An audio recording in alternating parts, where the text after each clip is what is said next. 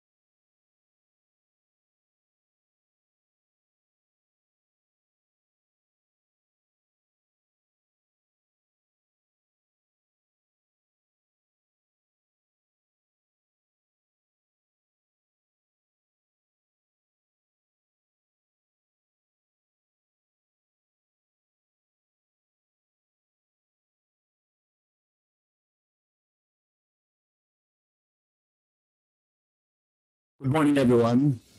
The second uh, meeting of the Committee on Labor, Employment, Social Welfare, Migrant Workers of the Commission on Appointments in the first regular session of the 19th Congress is hereby called to order. May we request the Madam, our Committee Secretary to please uh, call the roll. The honorable officers and members of the Committee on Labor, Employment, Social Welfare, and Migrant Workers, Vice Chairperson, Senator Maria Lourdes Nancy S. Binay.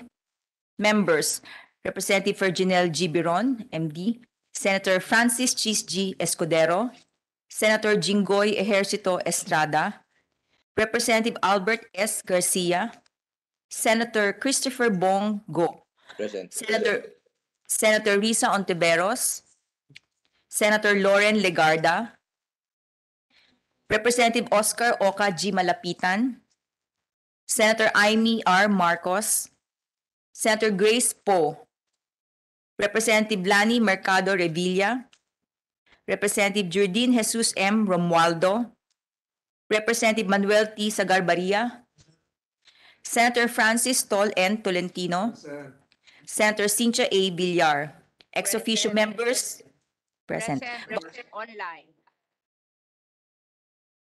Ex officio members, Vice Chairperson Representative Ramon N. Guico Jr., Majority Floor Leader Representative Luis Raymond L. Ray F. Villaferte Jr., Assistant Majority Floor Leader Senator Joseph Victor G. Ejercito, Assistant Majority Floor Leader Representative Rodante D. Marcoleta, Minority Floor Leader Senator Alan Peter Compañero S. Cayetano, Assistant Minority Floor Leader Representative Jose Gay G. Padiernos, Assistant Minority Floor Leader Representative Johnny T. Pimentel. The chairperson is present. Thank you, Madam Secretary. With 11 members present in person, including the chair and two members uh, present online, with a total of 13 members present, the existence of a quorum is uh, hereby uh, declared. We now proceed to the item number three, approval of the minutes of the previous meeting. Honorable uh, Majority Leader. Mr. Chair, I move that we dispense with, uh, with the reading of the minutes of the previous meetings held on September 14 and 20, 2022, and consider the same as approved. Is there any objection? The chair hears none. The reading of the minutes of the previous meetings held in, on September 14 and 20, 2022 is dispensed with and the same are considered approved. Good morning, esteemed members of the committee, distinguished guests, ladies and gentlemen. Your Committee on Labor, Employment, Social Welfare, and Migrant Workers is tasked to deliberate on the ad interim appointment of Secretary Erwin Shiba Tulfo as Secretary of the Department of Social Welfare and Development. May we now hear the the Commission Secretary's report on the jurisdictional requirements and other pertinent information relative to the ad interim appointment, other consideration in compliance with the new rules of the Commission and the rules of the standing committees. Madam Secretary. Thank you, Mr. Chairman, Your Honors. The ad interim appointment of Secretary Erwin Teshiba Tulfo as Secretary of the Department of Social Welfare and Development dated September 29, 2022 was received by the Commission on October 6, 2022 and was referred by the CAIR Chairman Juan Miguel Mix F. Zubiri on the same date to the Committee on Labor, Employment, Social Welfare, and Migrant Workers for its appropriate action pursuant to Section 16, Chapter 5 of the new rules of the Commission. The ad interim appointment under consideration was published on July 28 and 29, 2022 in two newspapers of general circulation and broadcast over PTB4 pursuant to Section 2, Article 2 of the Rules of the Standing Committees. The appointee has complied with the submission of the mandatory documentary requirements of September 22, 2022, as provided in Section 24, Chapter 6 of the new rules of the Commission. On September 29, 2022, your Secretariat received a sworn affidavit of opposition from Attorney Frumencio E. Pulgar against the ad interim appointment of Secretary Tulfo. The appointee was provided with a copy of the opposition, and on November 21, 2022, the Commission was in receipt of the appointee's reply to the said opposition. Likewise, members of this committee were electronically furnished copies of the said sworn opposition as well as copies of Secretary Tulfo's reply thereto. The Commission Secretariat has duly notified the oppositor of today's committee hearing meeting, and on November 15, 2022, your Secretariat received a communication from Attorney Pulgar requesting your honors that he be allowed to attend online in the proceedings of this committee for reasons of his advanced age and comorbidity condition. That is all, Mr. Chairman, your honors. Thank you, uh, Madam Secretary. The Chair would like to acknowledge the presence of Senator J.V. Ejercito. We now proceed to item six, uh, deliberation on the ad interim appointment of Secretary Erwin Tulfo. May we request the Secretary to please administer the oath to Secretary Tulfo. Secretary Tulfo, please stand and raise your right hand. Do you swear to tell the truth and nothing but the whole truth and nothing but the truth in this proceeding? So help you God. I do. Mr. Chair, the appointee is now under oath. Thank you. The committee will now deliberate on the ad interim appointment of Secretary Erwin Tulfo, Secretary of the Department of Social Welfare and Development. May we now call on the appointee to please uh, take the seat in front. And uh, Mr. Secretary, may now please give your opening statement. Thank you, uh, Mr. Vice Chair.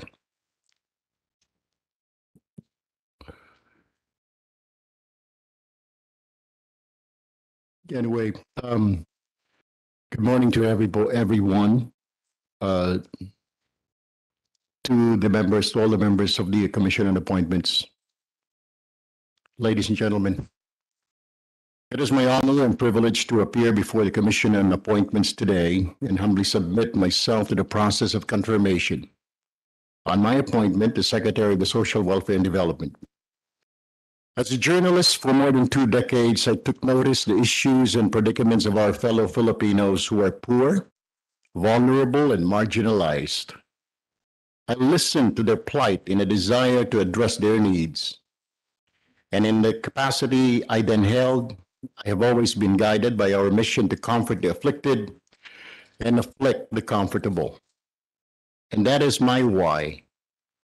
Discovering my why reinvigorated my passion to serve those less in life, eradicate poverty and reduce inequalities through sustainable development. I believe the valuable lessons I wield from decades of immersion with the poor, deprived, and oppressed sectors of our society will guide me in fulfilling the gigantuous task of leading the Department of Social Welfare and Development fulfill its vision and mission aligned with its core values of respect for human dignity, integrity, and service excellence. Certainly, this journey will not be easy. Some might even cast doubt and discredit us. But no amount of distractions will stop us from attaining this administration's aspiration of reducing poverty incidence to a single-digit percentage by 2025. To achieve that, we will continue to learn from the wisdom of our predecessors. We will listen to the cries of our clients and be inspired by the stories of success of our beneficiaries in order to render better services and yield outstanding results. I am determined to pursue the Marcos administration's thrust for digitalization with the approval of the roadmap of interventions to achieve the mission for digital delivery of social protection. This, as we mainstream social protection in the Comprehensive Development Plan and Annual Investment Plan of local government units as we gear towards the devolution of social welfare services. It is my desire to effect fundamental changes in the lives of the poor, vulnerable, and marginalized towards this end. I guarantee to accord them the services they deserve so they could see hope and not despair. We do this while fortifying transparent, accountable, honest, and compassionate public service. With that, the esteemed members of the Commission on Appointments, Your Honors, I humbly stand before you this morning requesting for your favorable confirmation of my appointment as Secretary of the Department of Social Welfare and Development. I guarantee that I will faithfully discharge my duties and obligations with the best of my abilities from years of serving the public from different capacities, especially from the broadcast mass media. Finally, let me state that I am grateful that I am given the chance to work with you and all the angels in red vest in our pursuit for inclusive and sustainable development together. Let us champion the rights and welfare of the poor and accord them efficient, effective, economical, and ethical public service. Thank you, Your Honors, and good morning. Thank you, Mr. Secretary. The appointee is now ready to respond to any comments, uh, questions from Mr. the Chair. member. Yes, uh, Majority Leader. Thank you, uh, Mr. Chair. Uh, First of all, uh, I would like to thank and congratulate the Secretary for your quick action uh, during your baptism of fire, the first uh, typhoon that hit the country, Paeng. Uh, First, thank you for quickly acting in supporting uh, uh, Bicolanos and our country. Maraming salamat, Secretary. Uh, We congratulate your team and your family under your leadership. My question basically, uh, Secretary, is the conditional cash transfer program or the four piece was started 2007 in a pilot and uh, was budgeted in 2008. 15 years after uh, the four piece program was started and almost a trillion pesos was already spent. Ah, tanong ko po, Secretary, do you think the 4P program ah, nakatulong po sa pagbaba ng poverty incidence ng ating bansa? Mr. Secretary. Um, Mr. Chair, um, has, and it will. Siguro lang po, sir, kailangan lang ho nating, the, the Congress will revisit the law. Kailangan lang po ng adjustments. Because after so many years, eh, ganun pa rin po yung system. Though may mga nag-graduate po. The purpose of 4P, sir, eh, yung mga poor families, mapaaral yung kanilang mga anak, education, and then ika nga ma- ma-check yung kanilang mga health and needs of the children. Nangyayari naman ho yun, may mga nag-graduate, napapagraduate, meron po kaming mga success stories ng mga beneficiaries. Pero we need to revisit kasi yung iba po na abuse such as um, ginagamit po ng pangsugal. Yung iba po ay ina-advance na sinasanla yung kanilang cash card. So hindi na po talaga nagagasta minsan para sa mga anak. So, so what I'm asking, sir, is kung pwedeng reviewin po ng Congress, ng Senate, itong batas na ito para maging full-proof ika nga, para talagang mapupunta po yung benepisyo sa mga bata, uh, Mr. Chair. Thank you for your answer. Um, I think uh, the law is there and I think under your leadership siguro you can take the initiative uh, na ayusin po yung ah, sistema kasi while the money is there, ah, tama po kayo, yung iba po ay hindi na pupunta sa dapat, no? But ang ating mga kababayan po ngayon ay nakikinig and ah, palagi nilang tinatanong sa akin sa ah, aming probinsya, sa barangay, sa aking pagbisita. Ah, yung problema po ng lista ng 4P. Kasi po ah, siguro alam niyo na rin po ito, ah, marami pong beneficiary ng 4P noon ah, nakakatanggap ngayon na nag-graduate na po sila. Dati po ay beneficiary sila dahil ah, kasama po sila sa qualification na mahirap at ang iba naman po ay umasenso na and yet tumatanggap pa po sila. And marami naman pong mahihirap na hindi kasama sa lista kasi kagaya sa aming probinsya ang reklamo po nila yung kapitbahay po nila na sementado po ang bahay, may sasakyan, nakakatanggap ng 4P at sila po makikita naman po tarpaulin ang ba- bubong sa, sa lupa, wala sa 4P. Ah, yan lang po ang ah, gusto ko pong mabigyan nyo ng atensyon at kung pwede pong sagutin nyo yung tan katanungan ko po. Ano po ang ginagawa po nyo under your leadership Una, para maayos yung lista, makorek yung mga hindi na deserving, nakagraduate na ay sana mapalitan na ng mga deserving. At uh, pangalawa, yung mga deserving from the start of the program na hanggang ngayon po ay hindi pa nakakatanggap. Kasi yan po ang pinapakinggan ng ating mga kababayan ngayon na palagay ko naman under your leadership ay mabibigyan nyo po ng atensyon. Mr. Chair, um, when I took uh, over, uh, meron pong tinatawag na listahan ng three. Ito po yung uh, survey na ginagawa po ng DSWD every three years to check on the beneficiaries yung mga kababayan natin na mahihirap kung po pwedeng ipasok po sa 4Ps. Uh, it identified 1.3 million Filipinos na who are non-poor, na member po ng 4Ps. So, dapat ho, tatanggalin ho yung 1.3 na yun, ipapalitan natin ng bago. Unfortunately, that survey was done in 2019 before the pandemic. So, hindi na po siya ika nga ah, correct dahil marami pong naghirap ng pandemic. So, what I did, sir, was uh, uh, instructed my people with the listahanan na program and uh, our uh, NHTO pala and uh, 4Ps to conduct another round of survey. And true enough, uh, Your Honor, Mr. Chair, um, we found out na dun po sa 1.3, 700,000 ang kailangan pong manatili doon sa 4Ps. Only 500 plus ang pwede pong i-graduate, ang pwede pong palitan na ng mga bagong miyembro. So yun ang ginagawa namin. Hopefully, sir, uh, Mr. Chair, uh, Your Honor, by uh, January this year, we will have a, a list, new members of the 4Ps, around 500,000 of them. And this will be distributed to the different sectors of our society from uh, disabled, uh, uh, solo parents, farmers and fisher folks. Doon pa natin i-distribute yung 500,000 na yun, uh, Mr. Chair, Your Honor. Uh, Mr. Secretary, magkano pa po ba ang budget ng 4P uh, under sa 2022 GAA?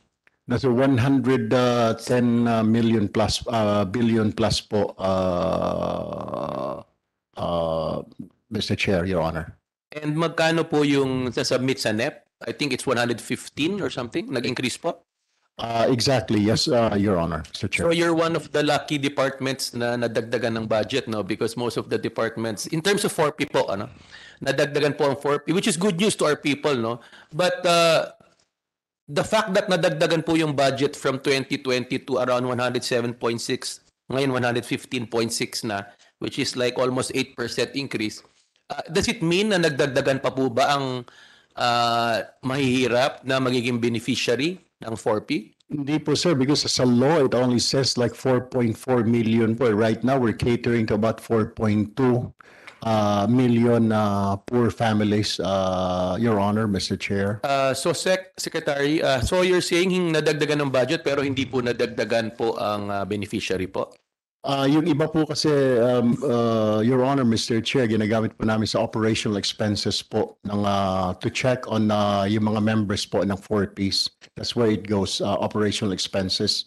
And then at the same time, yung mga idadagdag po natin, yung mga biglang suddenly nawawala, hinahanap po natin yan because ah, marami po sa kanila suddenly hindi ho namin malaman ah, under the law, they have to tell us, inform us where they're going. So, ang nangyayari po, minsan, nawawala po sila bigla without informing us. So, nagkakaproblema, nagre-report po sila na hindi nila natatanggap yung kanilang ah, benepisyo.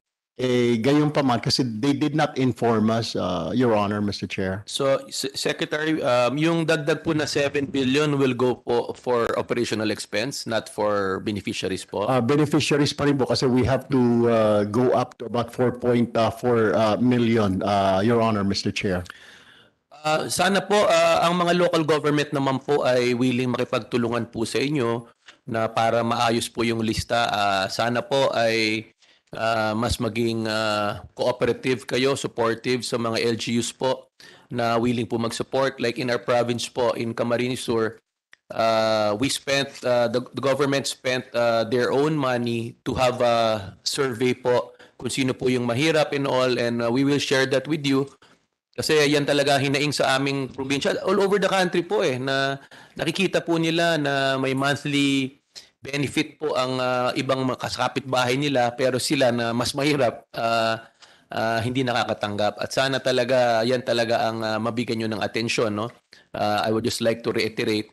And pangalawa pong concern po na sana maayos po nyo under your leadership. Niraise ko na po to during the last uh, yung predecessor nyo and unfortunately hindi talaga fully na na solve no ang ating pangulong uh, Bongbong nagsabi that dapat uh, to support and promote digitalization especially in government transactions we fully support it ako nga as early as 2013 nag-file na ako ng 16 nag-file na ako ng bill for e-government because I believe less human intervention, less corruption.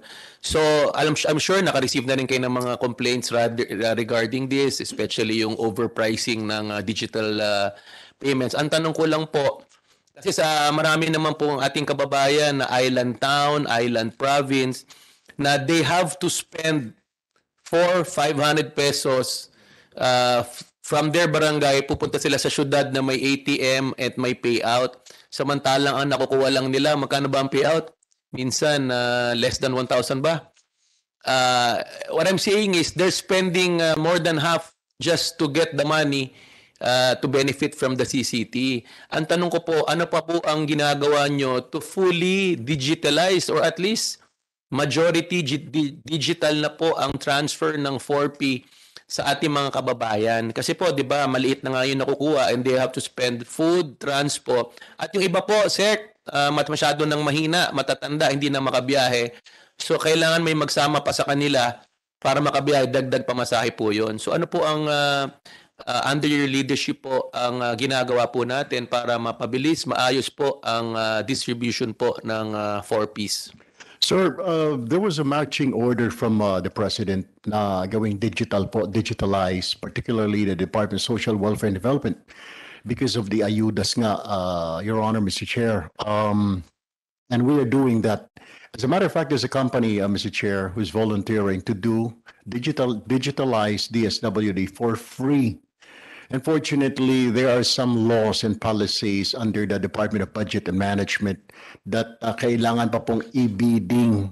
So medyo nawawala na po ng gana yung company ho na yun na volunteering to digitalize the DSWD. As a matter of fact, the promise when I came in last July 1, kaya nilang i-digitalize yung AX pa lamang, sir, in about 90 days.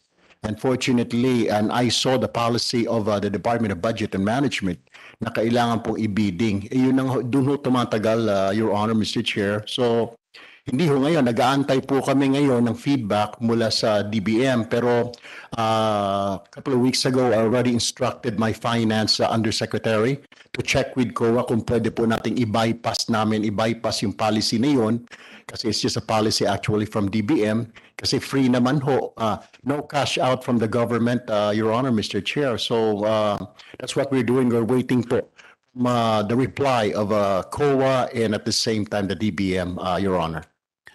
Thank you. Uh, just let us know how we can help, no? But for example, in our province, uh, Sec, uh, salamat na bisita mo kami. Meron kaming tinatawag na provincial ID na cash card with land bank. Kasi ang plano po namin ng mga AICs, ang mga medical, burial at scholarship papadaanin na po doon and I think hindi na kailangan i-bidding yun if DSWD partners with the LGU CAMSUR uh, pati sa 4P po. Uh, ang second step po namin uh, after uh, issuing a provincial ID with cash card na digital ay to expand also yung POS system sa barangay na nakaka-withdraw na sila at no cost to the government. So we're volunteering to if you can partner with us and do that trial hindi na kailangan po i-bidding yan no. So um marami pa akong tanong pero siguro I will let other uh, some of our colleagues also uh, do the questioning no? But uh, sec I fully support you for the simple fact that dati nakikita lang kita sa TV at radyo but I experienced firsthand na nung bagyo talaga ay nag-action ka. Pag nagte-text kami sumasagot ka. So with that uh, maraming salamat and uh, I believe in your leadership maraming salamat po Thank you, Your Honor.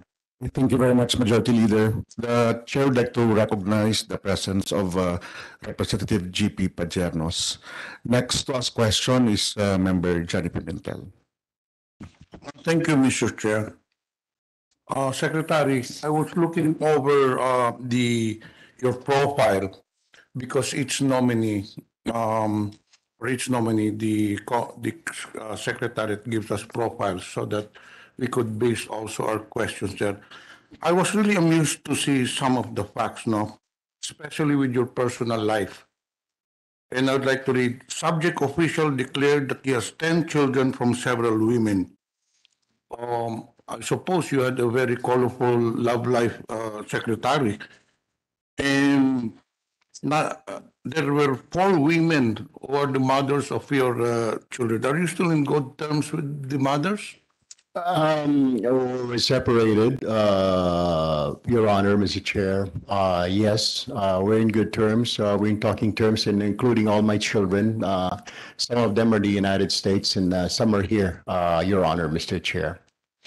Secretary, considering that in your line of work, uh, the moment you're the secretary of DSWD, and uh, I suppose you'll be meeting a lot of women in your line of work, hindi po ba magiging sagabal sa trabaho mo yun na marami kang makikit, makikilalang babae?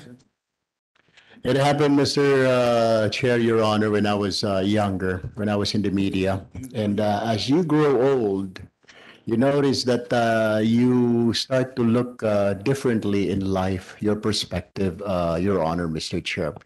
When we, we are young, sir, uh, we make mistakes. eh. I mean, uh, but I'm not ashamed uh, to, to say that I made mistakes. And from that mistake, you have to make corrections and adjust. And and you have to bring it all the way until you grow old, Mr. Chair, Your Honor.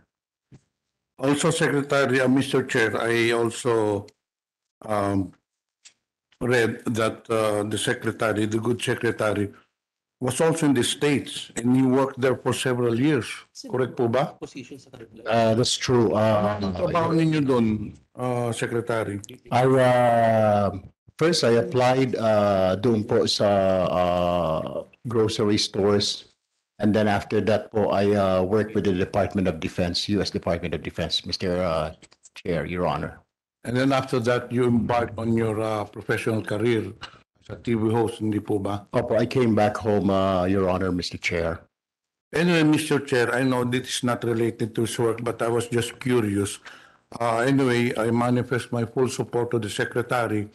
Uh, although this is his first appointment as a, uh, a government uh, official, but I know very well that uh, since he embarked on his program, he has been uh, working for the, the uh, several constituents in our country.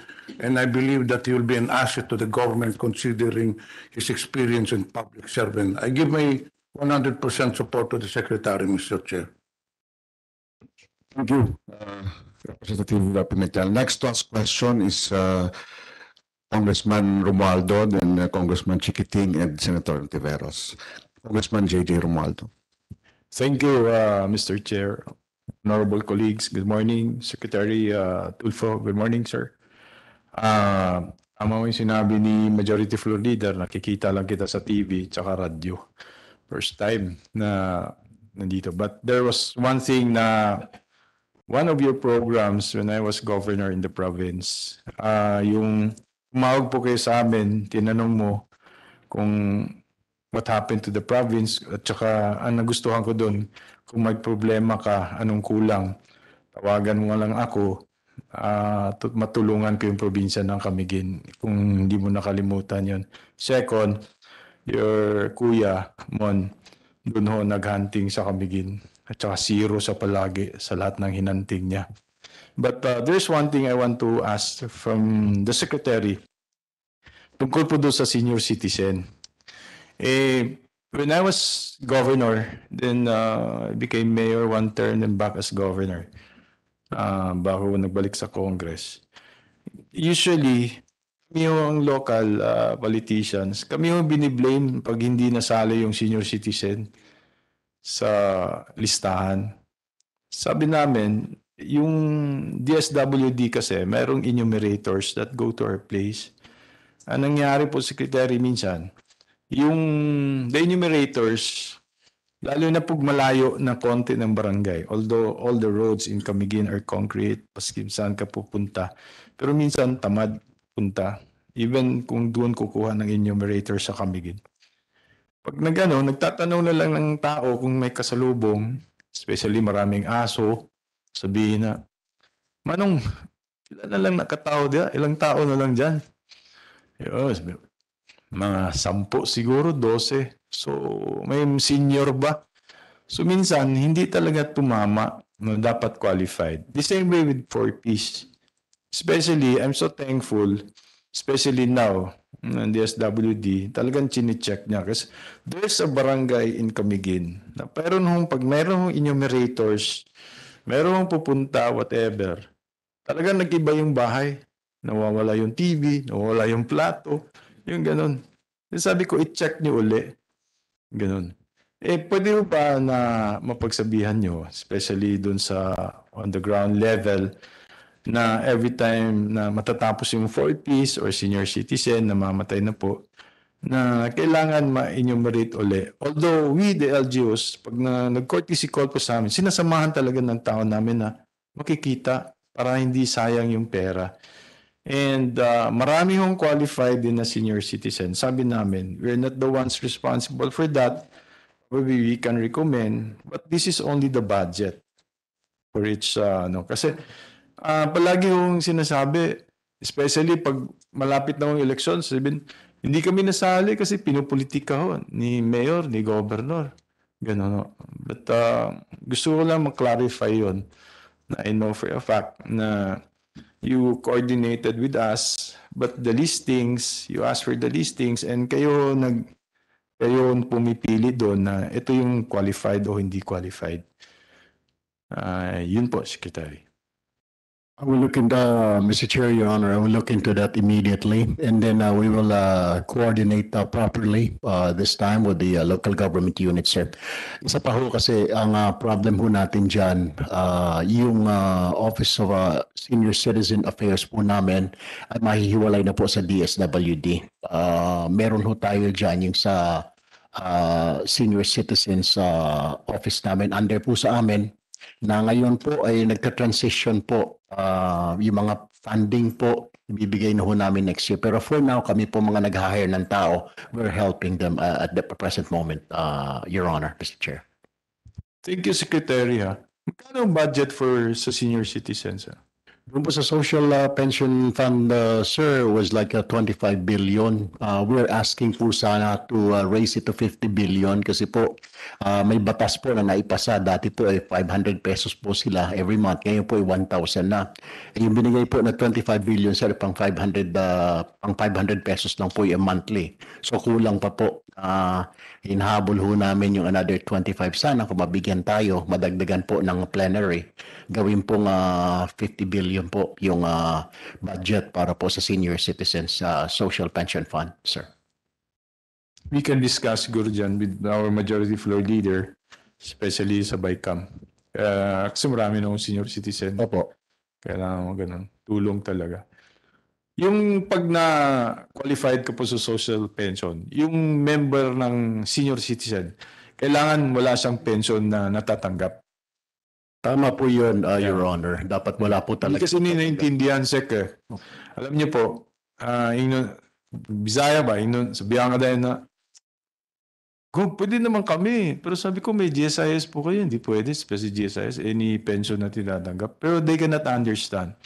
We explain, but, ah, pero nag-insist, alam mo na yung mga matanda, mag-insist talaga palagi.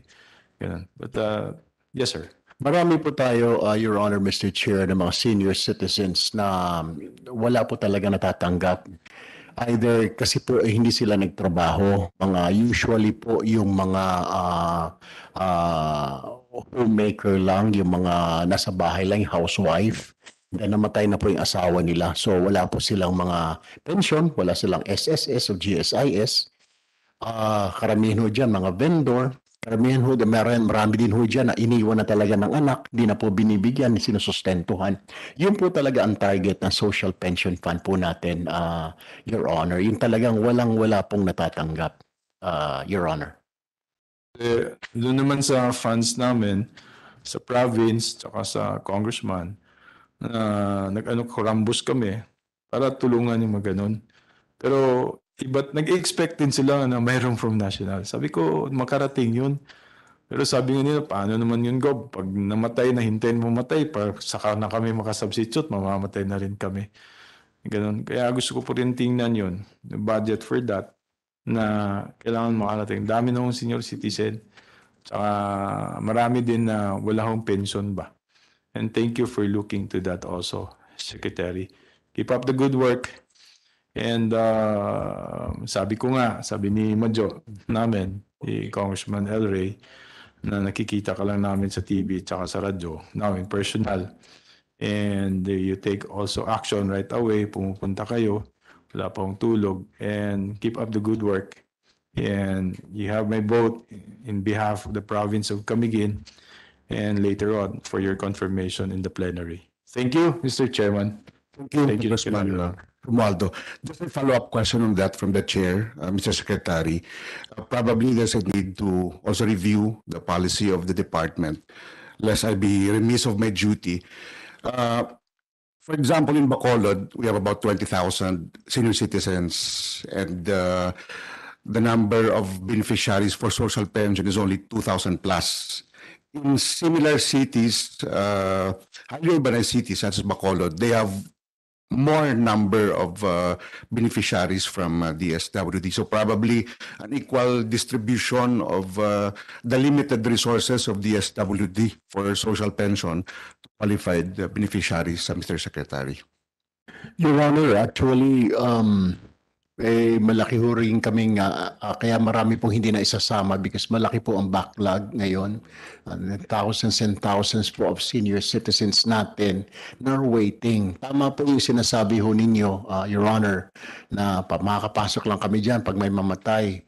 Pero medyo hindi nga po maganda at tama po yun. Pero that's the only way para makapasok po yung ilang senior citizens natin because of the limited budget, uh, Mr. Chair, Your Honor. So, uh, for that, eh, ngayon nga ho, problema pa ho natin ngayon, yung uh, uh, because of this new law that, uh, that uh, became into law actually, uh, raising na 500 pesos to 1,000 na po ngayon. Ka unfortunately, yung nasa budget po namin ngayon for 2023 is pang 500 uh, pesos pa rin monthly. So, yun ang problema natin, pupunuan po natin yung another 500 po. So we need like around 25 billion more kasi 25 lang po yung naibigay sa amin, Your Honor, Mr. Chair. Thank you, Mr. Secretary. There, ano, in line with your, Yes. in addition, uh, one of the principal author po ako ng solo parents uh, law, no? Um, may IRR na po kayo, di ba, na, na na-release po. Tapos na po, Your Honor, Mr. Chair. May clarification lang po ako dahil may nabasa po ako sa uh, newspaper na sabi niyo na that the LGUs should already start distributing. I would like to clarify that the law specifies the budget will be from national government, not LGU. Tama po ba? Hindi po sir, actually yung ah, monthly na ibibigay po para sa mga solo parent will come from the local government unit. Magagaling po sa ah, IRA po nila, ah, Your Honor, Mr. Chair. Uh, ano yan? Uh, is it part of the devolve function? Hindi po, nasa code po yun eh, sa ah, local government po actually yun. Depende po sa, actually nakapeg po siya pag ah, first class, ah, second class municipalities or cities sir, nasa 1,000. Tapos ah, ngayon yung ah, mga third, fifth and sixth class municipalities dapat po eh, ah, depende po sa LGU. Kaya nga po may narami po nagrereklamo ng mga LGU sa atin, Your Honor, Mr. Chair, na hindi po nila kaya yun, ah, Mr. Chair. Ang alam ko kasi, anyway, we will clarify, uh, that should be national government funded, no? Anyway, uh, since may IRR na, siguro um, uh, with your leadership, dapat i-clarify yung uh, who are the beneficiaries, dapat mag-issue na ng ID po, di ba po? Uh, ma-identify na kung sino yung mga yan. Kasi in order to avoid confusion kasi meron dyan kakahiwalay lang. Solo parent na no? So uh, may malinaw naman sa batas po yung qualification. Siguro under your leadership ma malinawan at mapabilis na po ang uh, implementation po nito. Salamat po. Okay, we now uh, proceed to Member Sagarbaria of Dumaguete. Uh, Good morning, everyone. The Chair, uh, Mr. Secretary, uh, you have made mention during your introductory speech, and you used the word devolution. So how do you conceptualize the, what do you want to happen when you wanted to say, when you said that we are on the process of the devolution of the department, DSWD, of which we know you have already persons or personnel practically in all provinces in the country. So I would just like to be clarified your vision on how do you want this to happen? What is the type of devolution that you want to go into? That's my, one of my first questions, Mr. Chair. Mr. Secretary. Your Honor, Mr. Chair, yung devolution kasi uh, may mga programs po kami that has to be uh, turned over uh, to the local government units po. Uh, isa na po dyan uh, yung pong uh, mga programs namin such as AIX, such as uh, Sustainable Livelihood, yung Kalahi Seeds, uh, yung mga feeding programs po namin. To say, uh, Mr. Chair, Your Honor, yung funding po niyan ibibigay po dun sa LGU para the LGU will have full control, uh, Mr. Chair, Your Honor, doon po sa program po na yun at wala na po sa national level. Actually, Mr. Chair, for for next year, uh, dapat eh, na-devolve na sa LGU yung mga yung AX, yung po yung mauna eh. Pero hinold po muna ng executive branch po yon kasi pag-aaralan pa dahil baka magamit daw po sa politika doon po sa local level, uh, Your Honor, Mr. Chair. So, Mr. Secretary, what level do you believe you are into now in your process of devolution in the things that you want to happen in the coming years? Because you have made mention you want to bring down to a single digit level the poverty of the country within 2025. Siguro, Your Honor, Mr. Chair, yun po yung uh, una po sa lahat, yung feeding program po namin because we're running that. Uh, we hope uh, we can uh, uh, turn it over to the LGUs na po hopefully by next year kasi mas identified po ng LGU yung mga uh, barangay sa kanilang lugar na medyo uh, meron pong uh, malnutrition, kakulangan sa pagkain. Mas alam po ng mga mayors po yun, ng mga governors and barangay.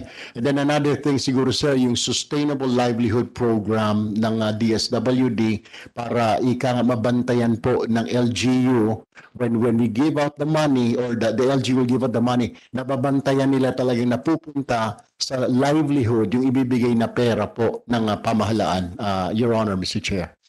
Mr. Chair, my other question is a parochial concern.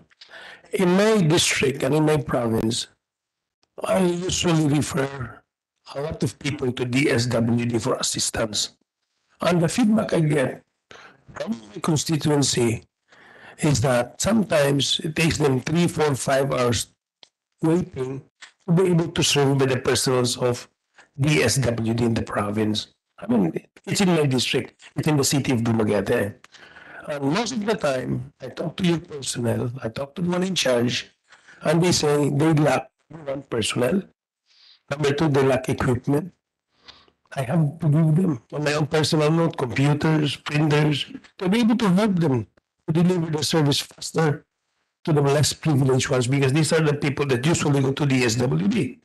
So, you have any plan uh, or do you conceptualize this to be able to least address the issue of trying to help the less privileged ones get better service, especially coming from the SWD?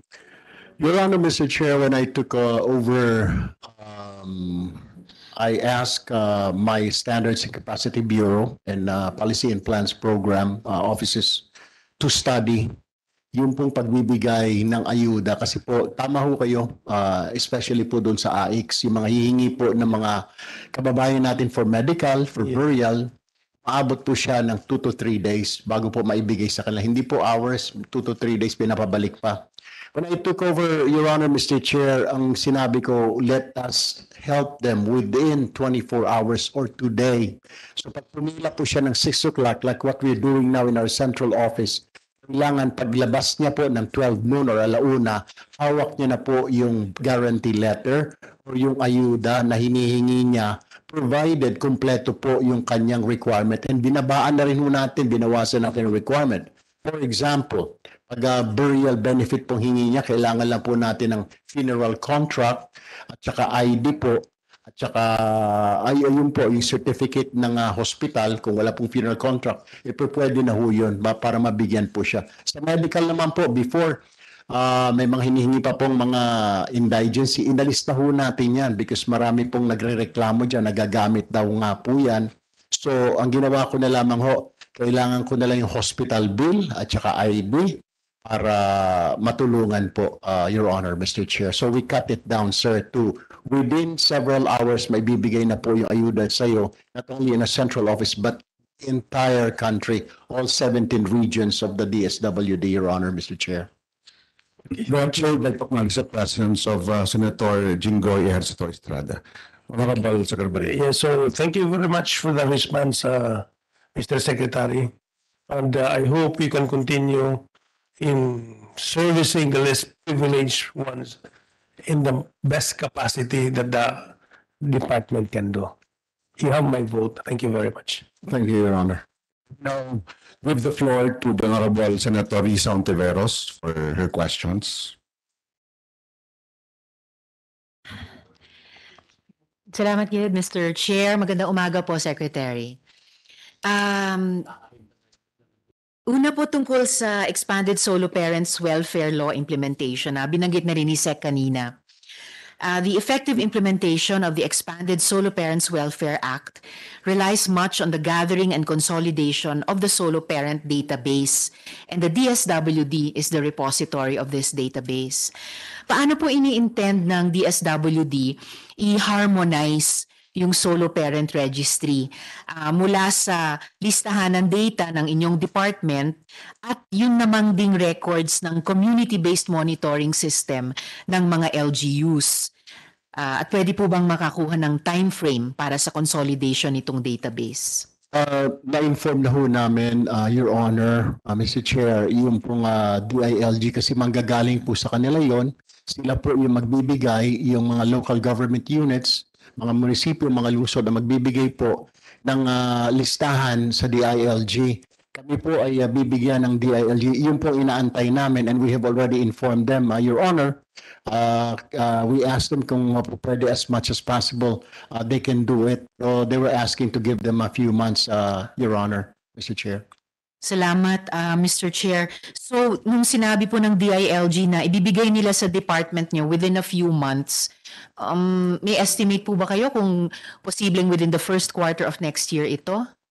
Sana po, uh, Your Honor, uh, I, I believe that we will have to ask them again kasi kailangan din ho namin yon, uh, Your Honor, uh, Mr. Chair, para sa aming uh, file, sa aming system. Kasi po baka may mga magrereklamo, may mga magsusumbong, lalo na po sa mga retail industry, sa mga tindahan kasi medyo yung mga solo parent po natin, may mga discounts po sila na matatanggap actually sa mga tindahan. Salamat, ah, Mr. Chair, Sec. So kung sabihin natin best case scenario, within first quarter, maibigay ng DILG sa department nyo yung ah, mga data nila, posible bang within the second quarter, makonsolidate na ng DSWD? So by June, ay pwede na po talagang masimula ng lahat ng ah, solo parents ah, ah, na nandun sa database nyo, pakinabangan lahat ng benefits sa batas. Your Honor, ah, kung ah, pahintulutan niyo ho ako, gagamitin ko yung pangalan niyo para kulitin po yung DILG na ilabas po yung listahan within the first quarter, Your Honor. Okay lang naman po Mr. Chair, ah, Sec, eh, kasi hindi naman galit sa akin si Sec Avalos. At tulad po ninyo, alam din nila na ah, tulad ni Majo at yung iba pang mga kasamahan dito ay ah, authors po ng Solo Parents, Expanded Solo Parents Welfare Act. Salamat, ah, Sec, Mr. Chair. And now, the DILG also has a mandate to supervise LGUs to ensure that they're able to perform mandates that are assigned to them. Uh, they also have a program called the Seal of Local Good Governance, Good Local Governance, Seal of Good Local Governance that develops the indicators, including for social protection mandates, based on which recognition and rewards for minimum compliance are given. Uh, nakapag-officially reach out na po ba kayo, SEC, sa DILG SEC ulit para siguruhin na yung indicators para sa minimum compliance dun sa Expanded Solo Parents Welfare Act ay maging bahagi ng SGLG goals ng LGUs? Opo, actually, uh, Your Honor, Mr. Chair, meron po kaming initial na uh, usapin hinggil dyan, pati na uh, meron pa po kaming gagawin para mas extensive po yung uh, usapan hinggil dyan. Within the next few weeks, so siguro o palipasin lang po itong uh, Christmas, Your Honor, Mr. Chair, para talagang mailatag po na maayos. Gusto ko talaga ho, Your Honor, Mr. Chair, na yan ay uh, tatakbo na smoothly. Uh, gusto ko lang po ipagbigay alam sa iyo, Your Honor, Mr. Chair, na yung uh, discounts na inaasam-asam po inaantay ng mga solo parents para po doon sa mga 0 to 6 year old, hindi po po makapag-umpisa kasi wala pa daw yung sinasabi po ng BIR. Ito po yung aming tinututukan ngayon, kinukulit po sila na kung pwede kasi hindi pa rin daw makapagbigay ng discounts. Kailangan daw sa BIR po yun. Ah, may approval po ng BIR. So ito po yung tinututukan natin, Your Honor, Mr. Chair, para ma-fully implement na po itong ah, expanded solo welfare ah, law, ah, Your Honor.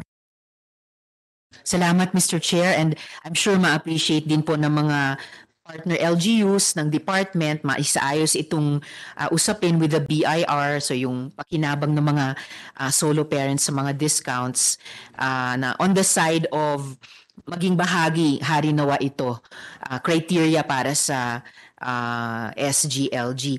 Sabi niyo Sec within a few weeks or yun na nga palipasin ang Pasko. So uh, posible po ba na maganda po kasi kung Enero pa lang unang buwan ng bagong taon ay kasama na nga po yung compliance Expanded Solo Parents Welfare Act uh, bilang criteria sa SGLG na alam na po ito ng mga LGU. So posible po kaya within first month or months of the new year. Naka-schedule na po yan. Uh, we have already uh, asked them. Uh, inaantay lang po namin ang uh, Department of Interior and Local Government uh, hinggil po dyan. So, uh, babalikan po namin ulit sila, Your Honor, Mr. Chair, na kailangan na po talaga, badly needed po yan. Kailangan na po talagang maipatupad yung batas na yan uh, alang-alang po sa mga kababayan natin na solo parent, Your Honor, Mr. Chair. At hari na wasek, maisama nga po yung compliance doon sa SGLG criteria. Opo, Your Honor, Mr. Chair. Salamat po, Mr. Chair. Ah, dako naman po ako dun sa four-piece pantawid program ulit, ah, kasunod nung ah, interpellation ni Majo. Uh, in light of the various circumstances affecting the implementation of the four-piece program, at narinig ko nga po, Sec, binanggit nyo kanina yung ilang mga pang-aabuso, pagsusugal, gamit yung uh, cash transfer, pagbebenta ng card. Bagamat I would, I would uh, uh, say, SEC, Mr. Chair, batay sa mga documentation, minority lang po ito. Ang majority po ng mga four-piece ah, parent leaders, lalo na ay compliant po talaga. Kaya nga po, nakapagpatapos sila at ang department sa pamamagitan ng four-piece ng maraming ah, nagtapos sa mga high school bilang valedictorian pa at salutatorian at saka ah, mga yun, mga scholars sa SUCs. But so in light of various circumstances, including those, uh, I filed Senate Resolution 218 calling for the convening of the four-piece oversight committee. Uh, this oversight committee shall initiate the sunset review of the program. So, mari po bang marinig uh, kay SEC uh, tungkol sa, kung dagdag po sa sinagot niyo na kay Majo, uh, uh, yung inyong assessment no sa four-piece program, ano po yung mga current plans sa implementasyon noon, at ah, mga reforma, mga innovations na gusto nyong isulong. Ah, maraming salamat po, ah, Mr. Chair, Your Honor. Ah, susuportahan ho namin yan. Ah, yan ho inyong ah, panukala, yung, yung resolution ho na yan. Kasi kailangan ho, kung ako ang tatanungin niyo personally sa Secretary of DSWD, kailangan po talagang reviewin po ang Department of So, ang ah, four-piece po natin. Kung talagang ito po ay effective. Effective naman ho siya, Madam Chair, ah, Your, Your Honor, ah, Mr. Chair. Ang unfortunately, yung nga ho sinasabi, kailangan lang ho merong i-fine tune po, Your Honor, Mr. Chair. Ah, diyan po sa four-piece na yan. Kasi kagaya po nung sinasabi na marami po kasi biglang nawawala na lang, Your Honor. Hindi naman ho nagpapaalam. Eh, nasa IRR po yun, nasa batas po yun na kailangan magpaalam nila. Magpaalam po sila. Pagkatapos, bigla na lang po magsusumo, magre-reklamo, pupunta po sa social media, bakit na hindi raw wala silang natanggap. Eh wala na ho sila doon sa kanilang tinitirahan. Iba na ho yung ah, kanilang ah, ika nga ah, ah, tirahan. O iba po eh, nag-abroad na ho. Yun ang kailangan natin i-find out, ah, Your Honor, Madam Ch- ah, Mr. Chair, kasi yung iba pinapasa po nila, naging OFW, pinapasa po nila sa nanay po nila. May, dapat hindi na ho sila kasali. Yun ho yung kailangan linawin po natin. na sino ba ang po pwede OFW? Kasi sabi naman po iba, eh, wala pa naman kaming 25,000 less lang kinikita namin. Dapat may uh, papasok kami dyan. Pero OFW, pero may anak pa rin ako. Hanggang ilan, hanggang anong grado? Kasi kung may anak po na anim, So yun ho ang ah, sinasabi natin. So kung nakagraduate na po yung eldest, hanggang sa bunso po ba, kailangan tuloy-tuloy sila? Eh kung uh, ganun ho mangyayari, Your Honor, Madam Chair, eh, so sobra po sila doon sa limit na seven years lamang na naipasa po ng Kongreso, ah, Your Honor, Madam Chair. Salamat, Sec. Uh, Mr. Chair, I think moving forward, eh, mga importanteng ah, tanong o issue po yon na kailangang talakayin ng department at sa anumang suportang maibibigay ng ah, lehislatura. Ah, interesting po, for example, yung point yung SEC na tungkol dun sa hanggang gaanong katagal. Naalala ko po tuloy na maging po dito sa kaninang pinag-usapan nating expanded solo parents welfare law ay inextend po yung unang ah, pakinabang hanggang 18 years old lamang sa 22 years old. So in any case, progressive naman po yung legislation at ah, kapag po may ah, input or payo mula sa executive ay mas napapaganda po namin ang mga batas at ng executive ang implementasyon nito. So I'll leave it at that for now, uh, Sec, Mr. Chair. So mga huling general questions na lang po, uh, Mr. Chair. Uh, the President mentioned in his SONA that one of the objectives of his administration is to right-size the bureaucracy. However, your office increased the number of undersecretaries and by extension, additional staff requirements for each USEC. Ah, mari po bang magtanong sa rationale ng mga appointments na ito? Ah, at paano po nito ah, tutulungan ang DSWD na efficiently at effectively i-deliver ang inyong mga programa at serbisyo in light din po sa planned devolution ah, ng ilan sa mga functions nyo gaya ng binagit na rin ni Rep sa Garbaria. Your Honor, Mr. Chair, siguro kung uh, magde-devolve na po yung ilang programs po natin next year, siguro mababawasan na rin po yung mga tao ho namin or or after this uh, administration or uh, within within the next few years.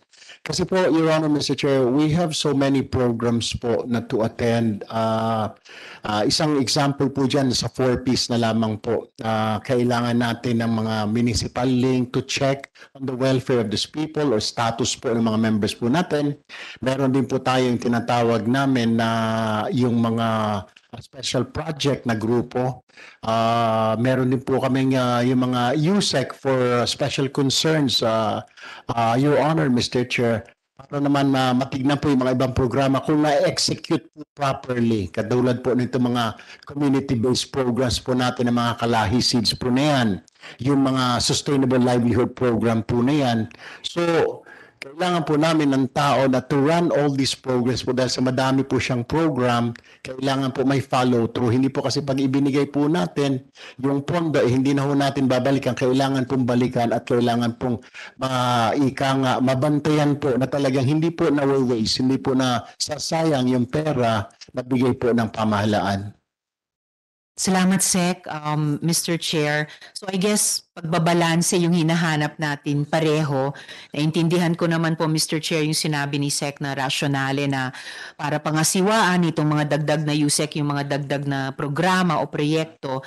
Ah, pero yun, dahil nga kung may planadong devolution, kailangan pa rin bantayan, again, moving forward, yung efficiency at saka ah, effectiveness.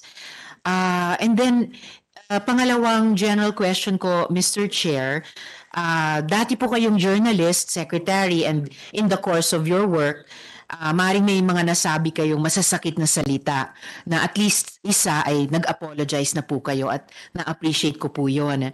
Nasa PIR na rin po ninyo na may nasabi rin kayong masasakit na salita sa isang online personality.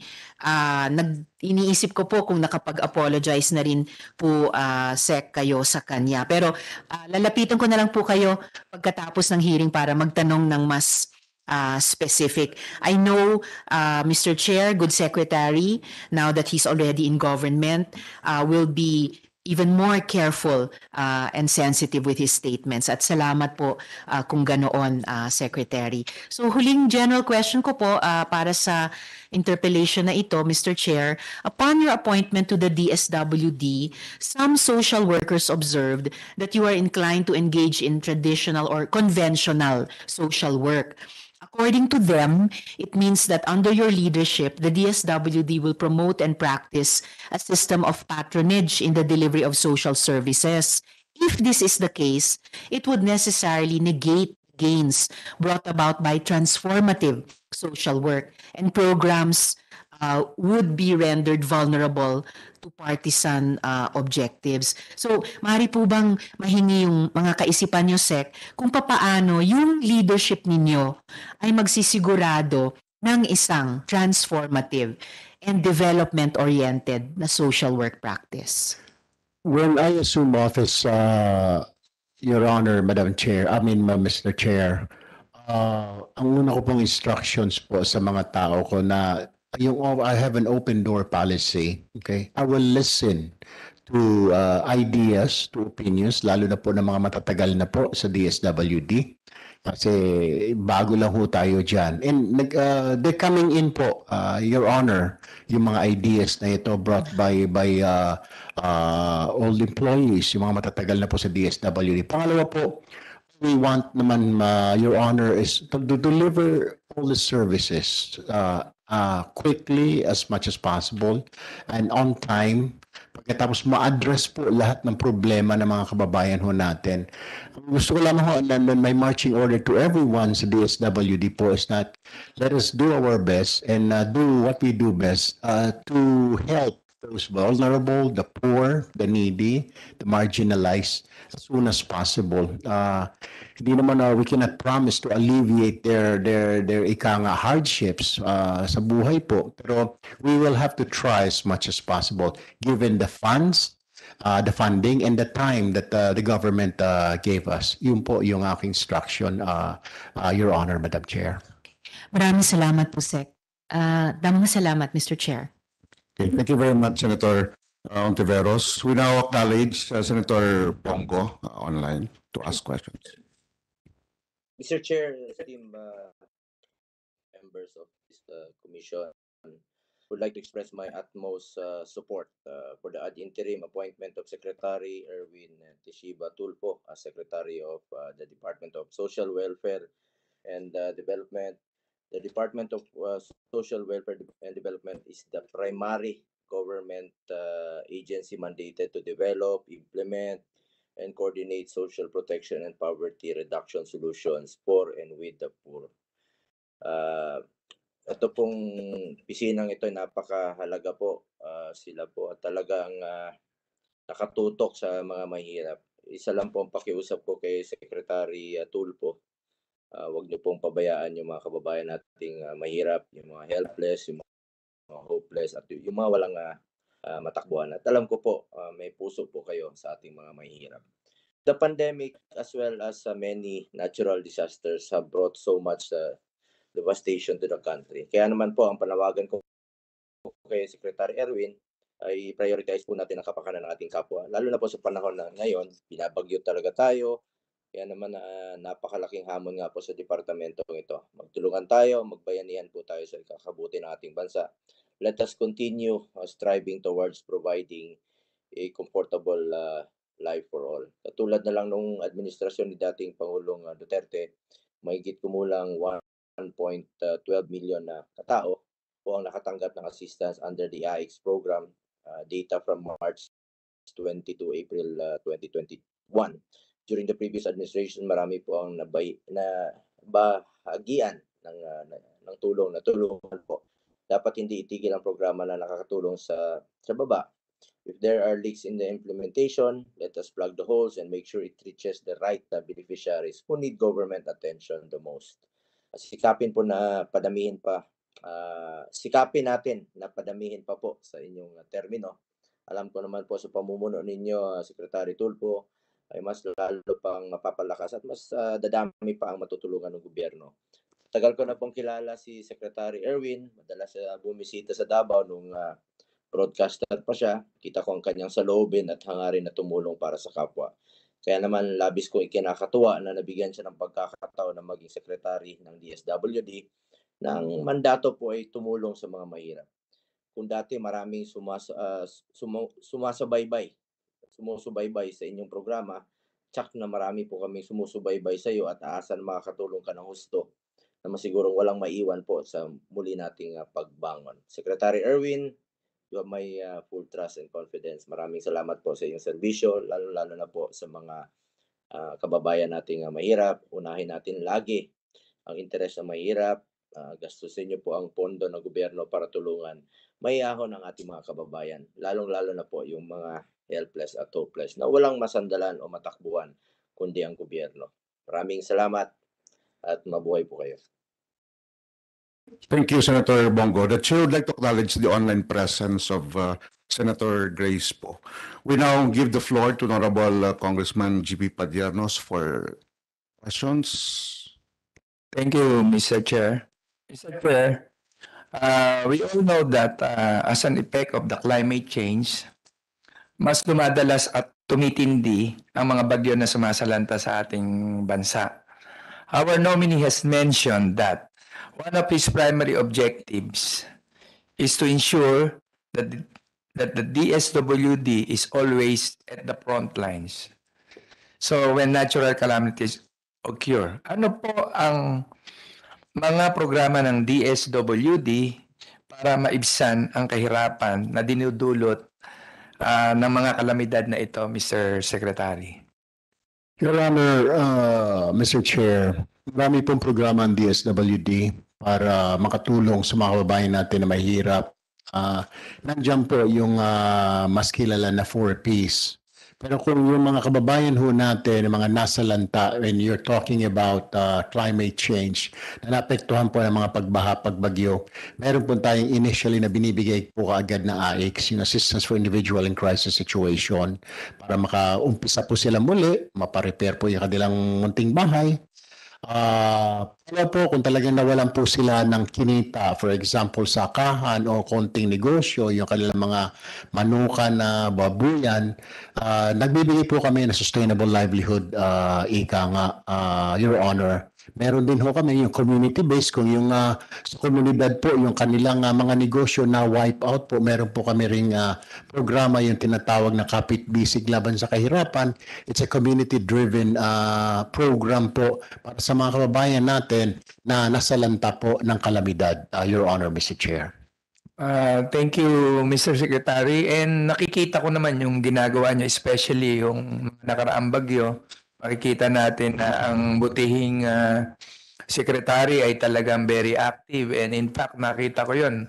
Last time ka nga dapat pa na confirm pero because of mga bagyo, humahabol pa rito para ma-confirm. So you got my support na for that ah, sa mga ginagawa mo, Mr. Secretary. ay- You got my support. Maraming salamat po, Your Honor. Okay, Thank you, Congressman Pajanos. The Honorable uh, Malapitan is uh, recognized. And good morning, ah, Mr. Chair. Tungkol ho rito sa tupad, Mr. Secretary, wala namang prohibition ng pagbibigay ng tupad ng AIX. Pwedeng bigay ng Pasko, Fiesta, mga kalamidad. Nagtataka lang ako sa amin nung nakaraang eleksyon. A day before election, may mga nagbibigay pa o nagbibigay ng tupad nagbabayad. So sana i-exempt naman natin yung election pagka ganitong ah, payout ng ah, tupad or ah, ng ah, IX. Chinek naman namin, wala namang prohibition talaga. Pero parang hindi ho tama eh, day before election doon magdi-distribute at gamit pa ang ah, DSWD. So sana makorek ho natin itong ganitong ah ah, practice sa inyong panahon as a secretary ng ah, DSWD. Sige po, Your Honor, uh, Mr. Chair. Uh, bibisitahin ho namin yan. Uh, pero yan po kasi siguro kailangan ho natin ng isang batas po para ayusin ho at baguhin ho yan uh, at saka ng uh, ikang IRR tungol po dyan. Kasi kayo na rin nagsabi na wala pong prohibisyon. Pero kung uh, gusto po ninyong lagyan ho yan, po pwede naman ho uh, sa, sa tulong na rin po ng Kongreso, Your Honor, Mr. Chair. Ah, thank you. Mr. Isa pa ho, ano?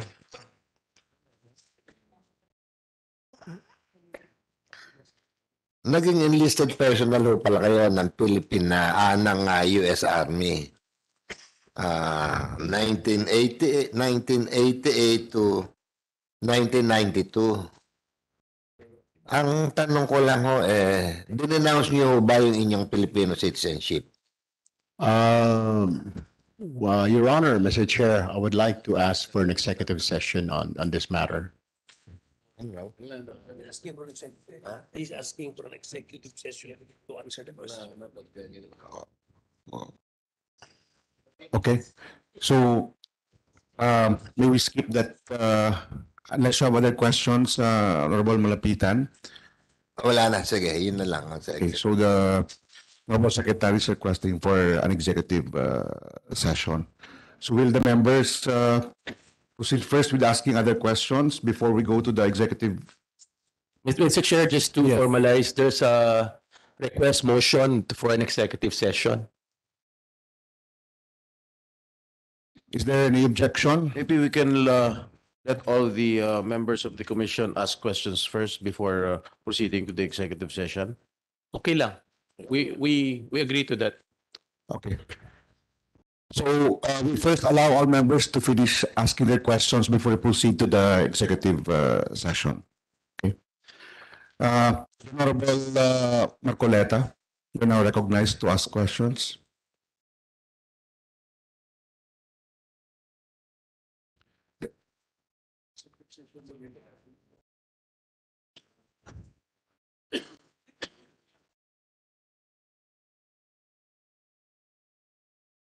Thank you, Mr. Chair.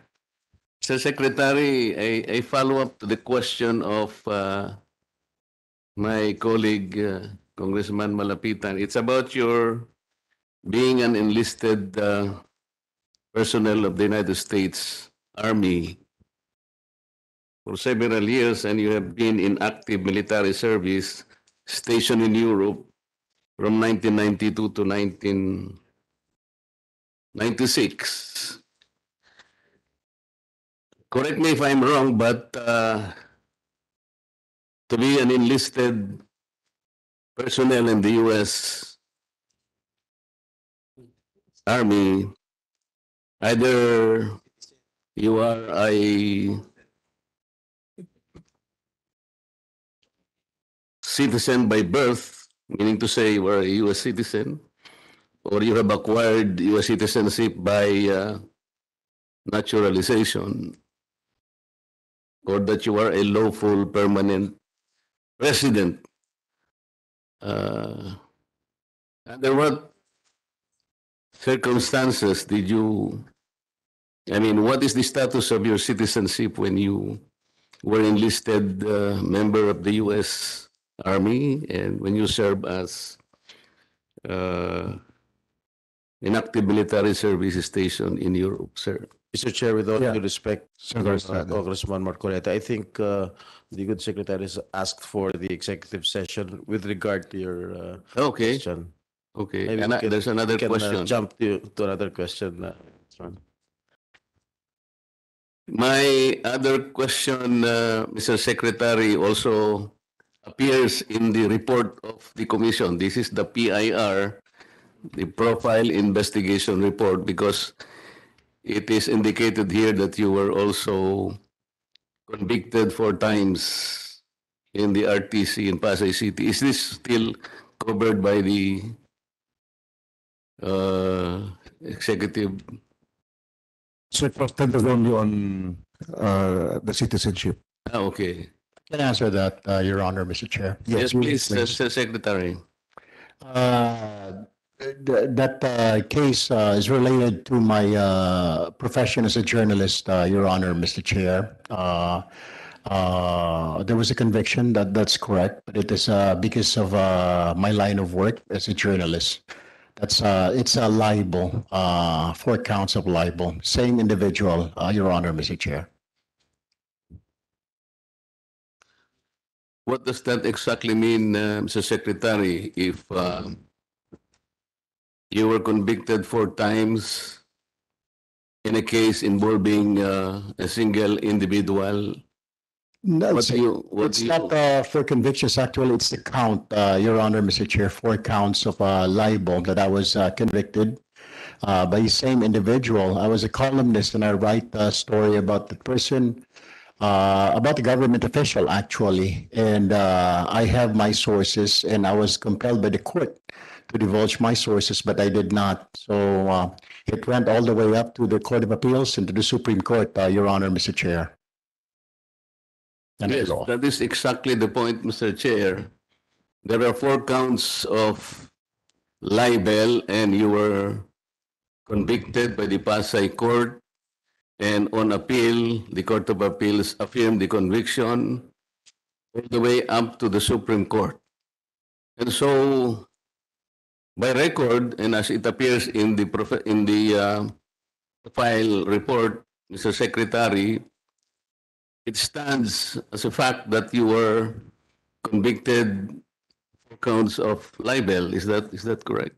Uh, Yes, Your Honor. Um, uh, I, I admit that uh, there was a case, uh, but it was, uh, like I said, in line with my work as a journalist, and it's one of the hazards of the trade, Your Honor, Mr. Chair.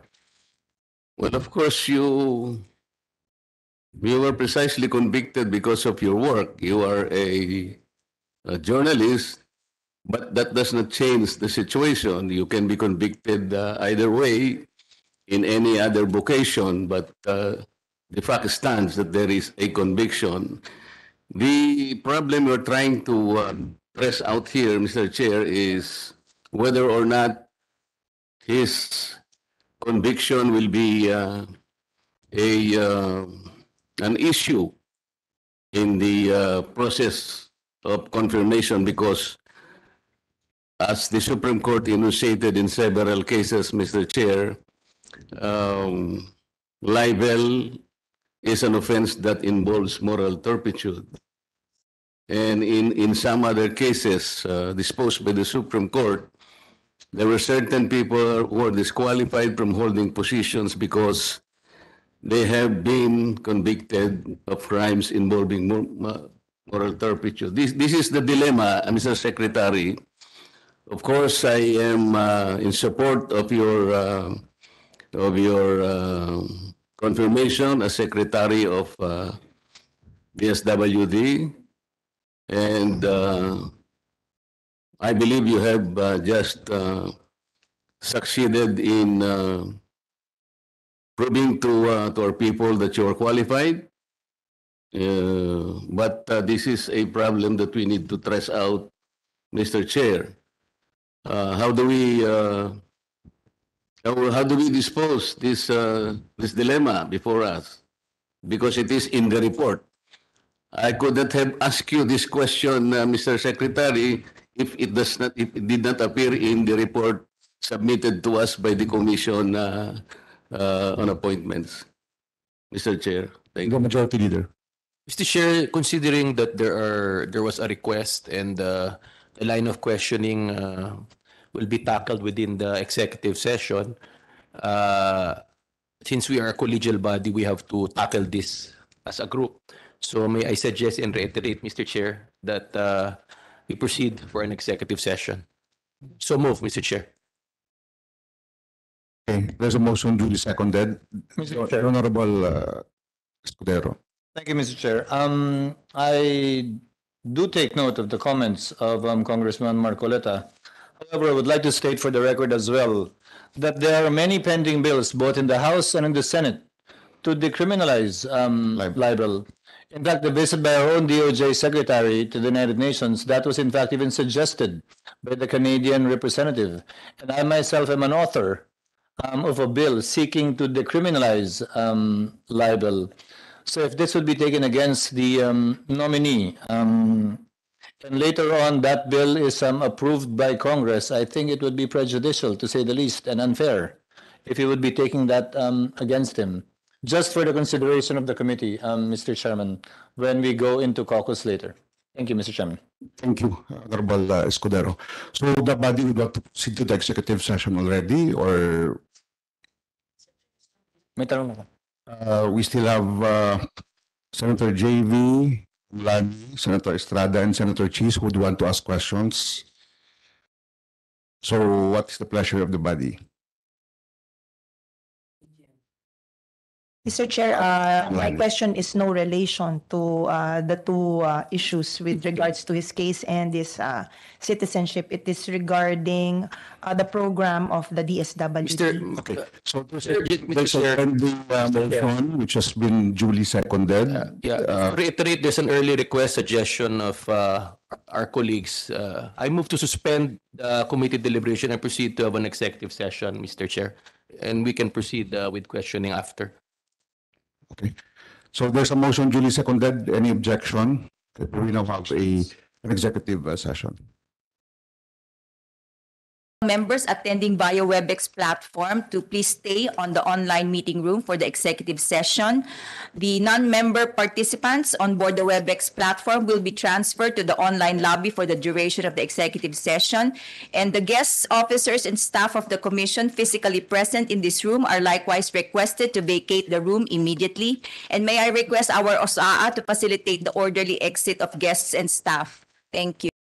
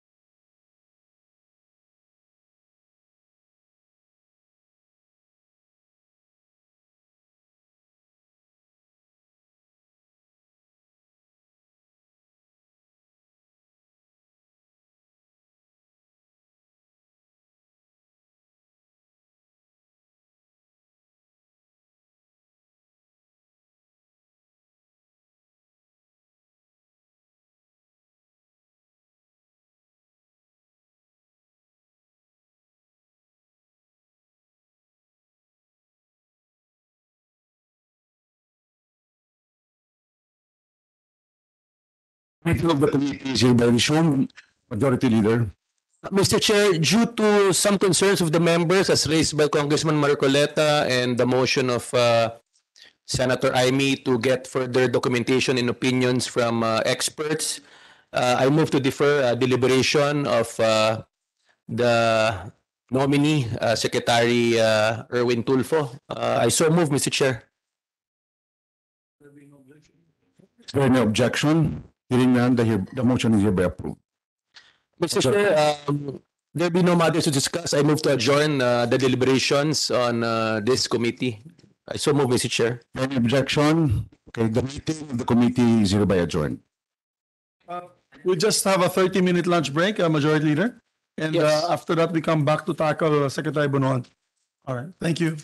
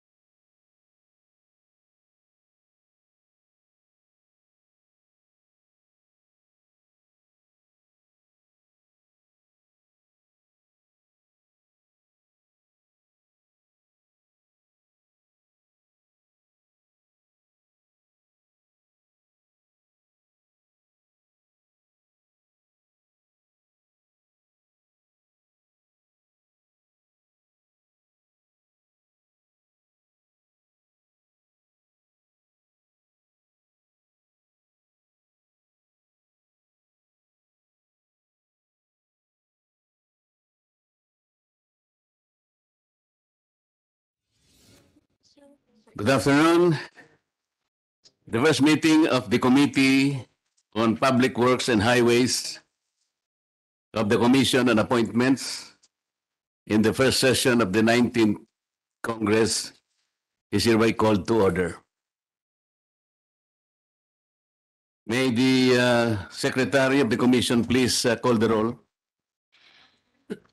Uh, The honorable members, the honorable officers and members of the Committee on Public Works and Highways, Vice Chairperson Senator Francis Chis G. Escudero, Representative Greg G. Gasataya, Senator Lauren Legarda, members Senator Maria Lourdes Nancy S. Binay, Representative Virginel G. Biron, MD, Senator Jinggoy Ejercito Estrada, Representative Albert S. Garcia, Senator, Senator Christopher Bongo, Senator Risa Ontiveros, Representative Oscar Oka G. Malapitan, Senator Amy R. Marcos, Senator Grace Poe, Representative Lani Mercado Revilla, Representative Jordine Jesus M. Romualdo, Representative Manuel T. Sagarbaria, Senator Francis Tol N. Tolentino, Senator Cynthia A. Villar, our ex officio members, Vice Chairperson Representative Ramon N. Guico Jr., Present. Majority Floor Leader Representative Luis Raymond L. Ray F. Villafuerte Jr., Assistant Majority Floor Leader Senator Joseph Victor G. Ejercito, Minority Floor Leader Senator Alan Peter Compañero S. Cayetano, Assistant Minority Floor Leader Representative Jose Gay G. Padiernos, Assistant Minority Floor Leader Representative Johnny T. Pimentel. The chairperson is present.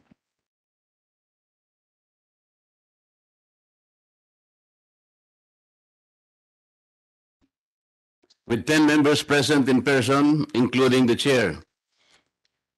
And no member present online with a total of 10 members present, the existence of a quorum is hereby declared. Mr. Chair. Senator uh, Risa is recognized. Thank you, Mr. Chair. Just manifesting my presence. Thank you, Mr. Chair. Thank you.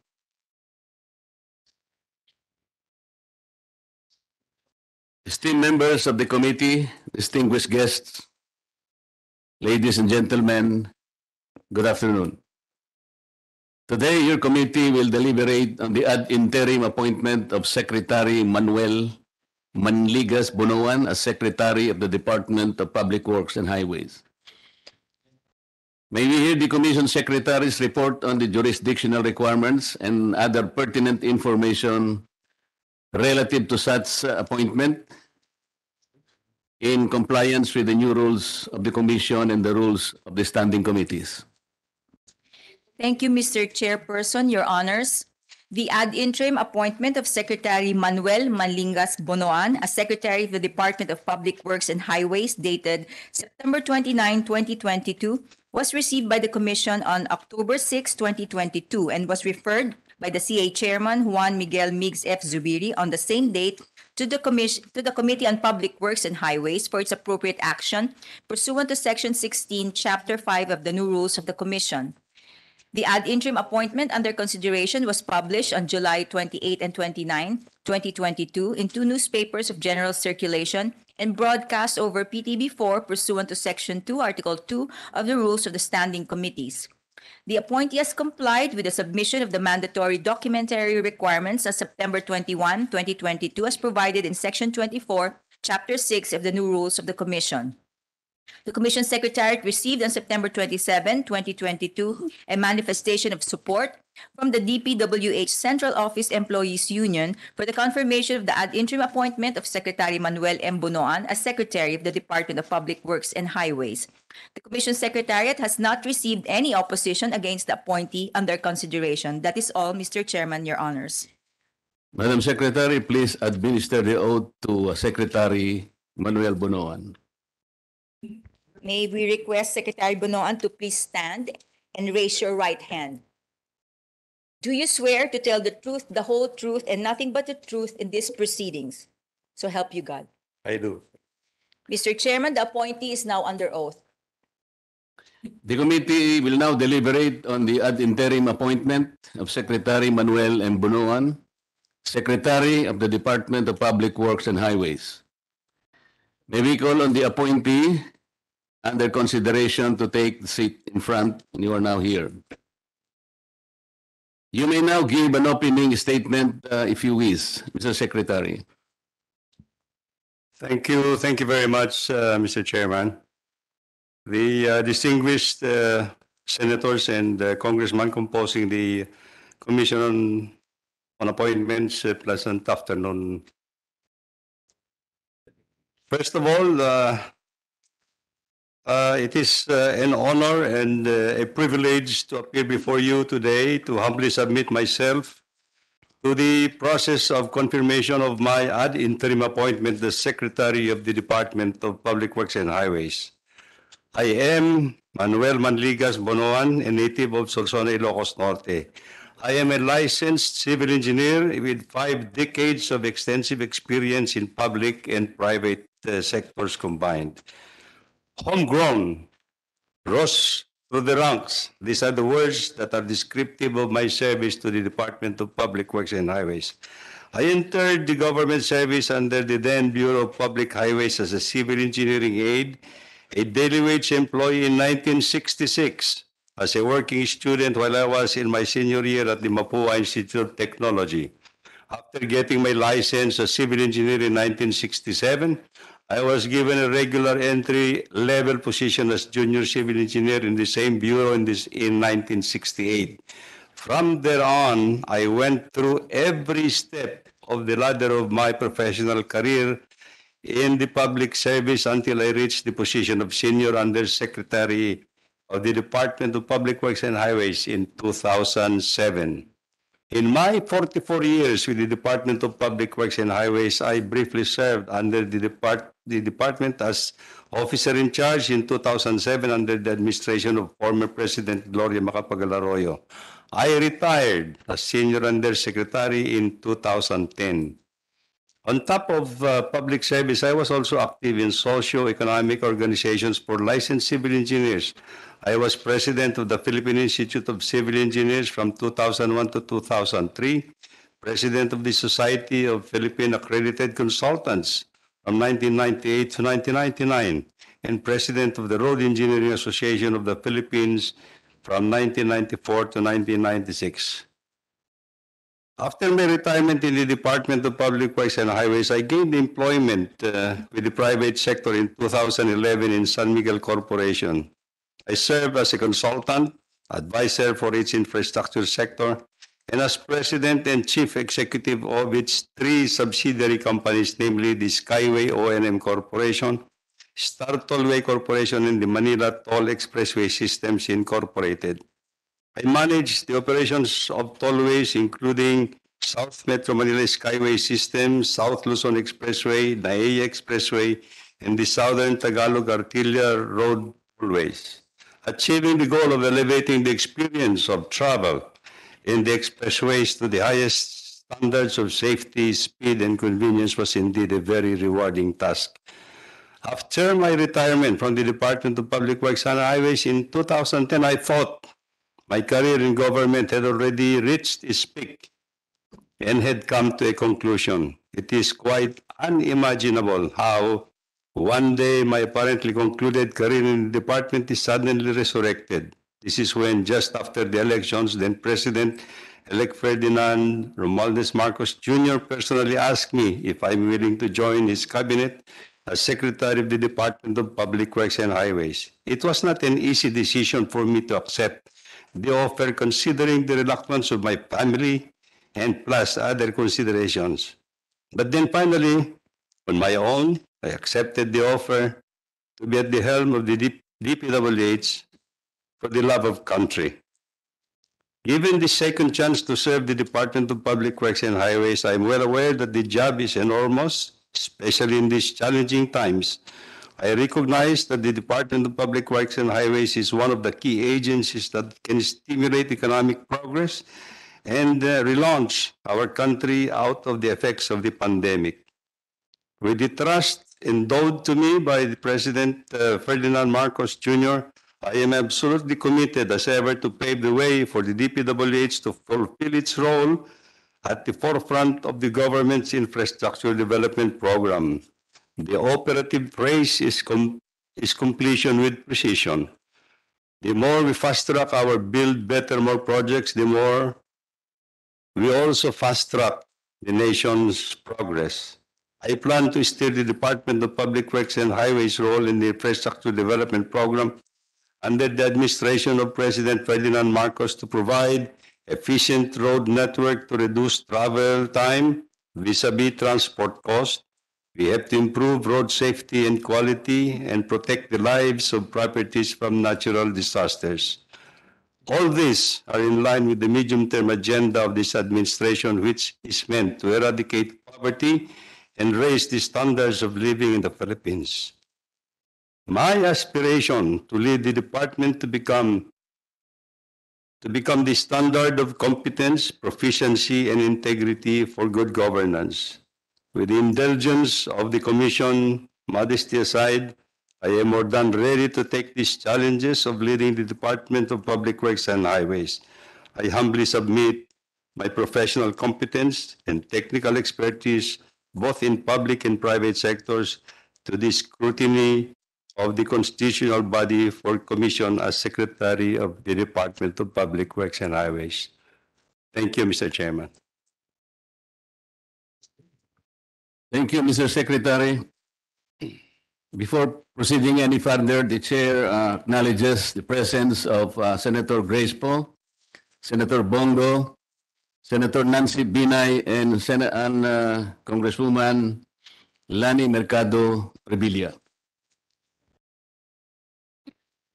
I believe the uh, appointee is now ready to respond to any query or comments coming from the members, and the floor is open for such. I acknowledge first Senator uh, Tol Tolentino. Proceed, uh, Senator. Thank you, Mr. Chairman. This, this is not a line of questioning, but a short manifestation of support because with the permission of this uh, committee, committee, I am about to leave because I have to proceed to Batangas for a speaking engagement. But before I leave, I would like to express and convey my full support to the confirmation of Secretary Manuel Bonoan's appointment as Secretary of the Department of Public Works and Highways. And my manifestation of support should likewise be inserted and reflected in today's plenary, just in case I won't be able to uh, log in via Zoom. And um, Mr. Chairman, I believe that uh, as explained by the Secretary, the good Secretary, is not just homeborn. He is an aborigine uh, DPWH. He is an indigenous DPWH, having worked his way up uh, since becoming a clerk, civil engineering aide in 1966, all the way up to becoming a senior undersecretary in 2010. He served sa department for almost five decades, including his stint in, with the private sector. Kaya nga po, Mr. President, buo po ang tiwala natin na magiging mahusay po si Secretary Bunoan. Kaya't ah, kaya't ko nga ited ti buo nga suporta para iti konfirmasyon ni Secretary Manuel Bunoan ka Secretary ti Department of Public Works and Highways manong ah, ket sigurado ah, magiyeg iti nakinkari nga epekto ti DPWH. You will be a good secretary. We hope that you will do that. So Mr. uh, Chairman, I again reiterate my full support. He was always there. Uh, my my recent experience was during the last Paeng typhoon when I learned from uh, some LGU officials in Sariaya and San Juan, Batangas that he personally inspected the bridge connecting Sariaya, Quezon, and Batangas, that Bantilan Bridge, uh, Mr. Secretary, and he promised uh, the LGUs there, including this representation, that a temporary will, bridge will be completed.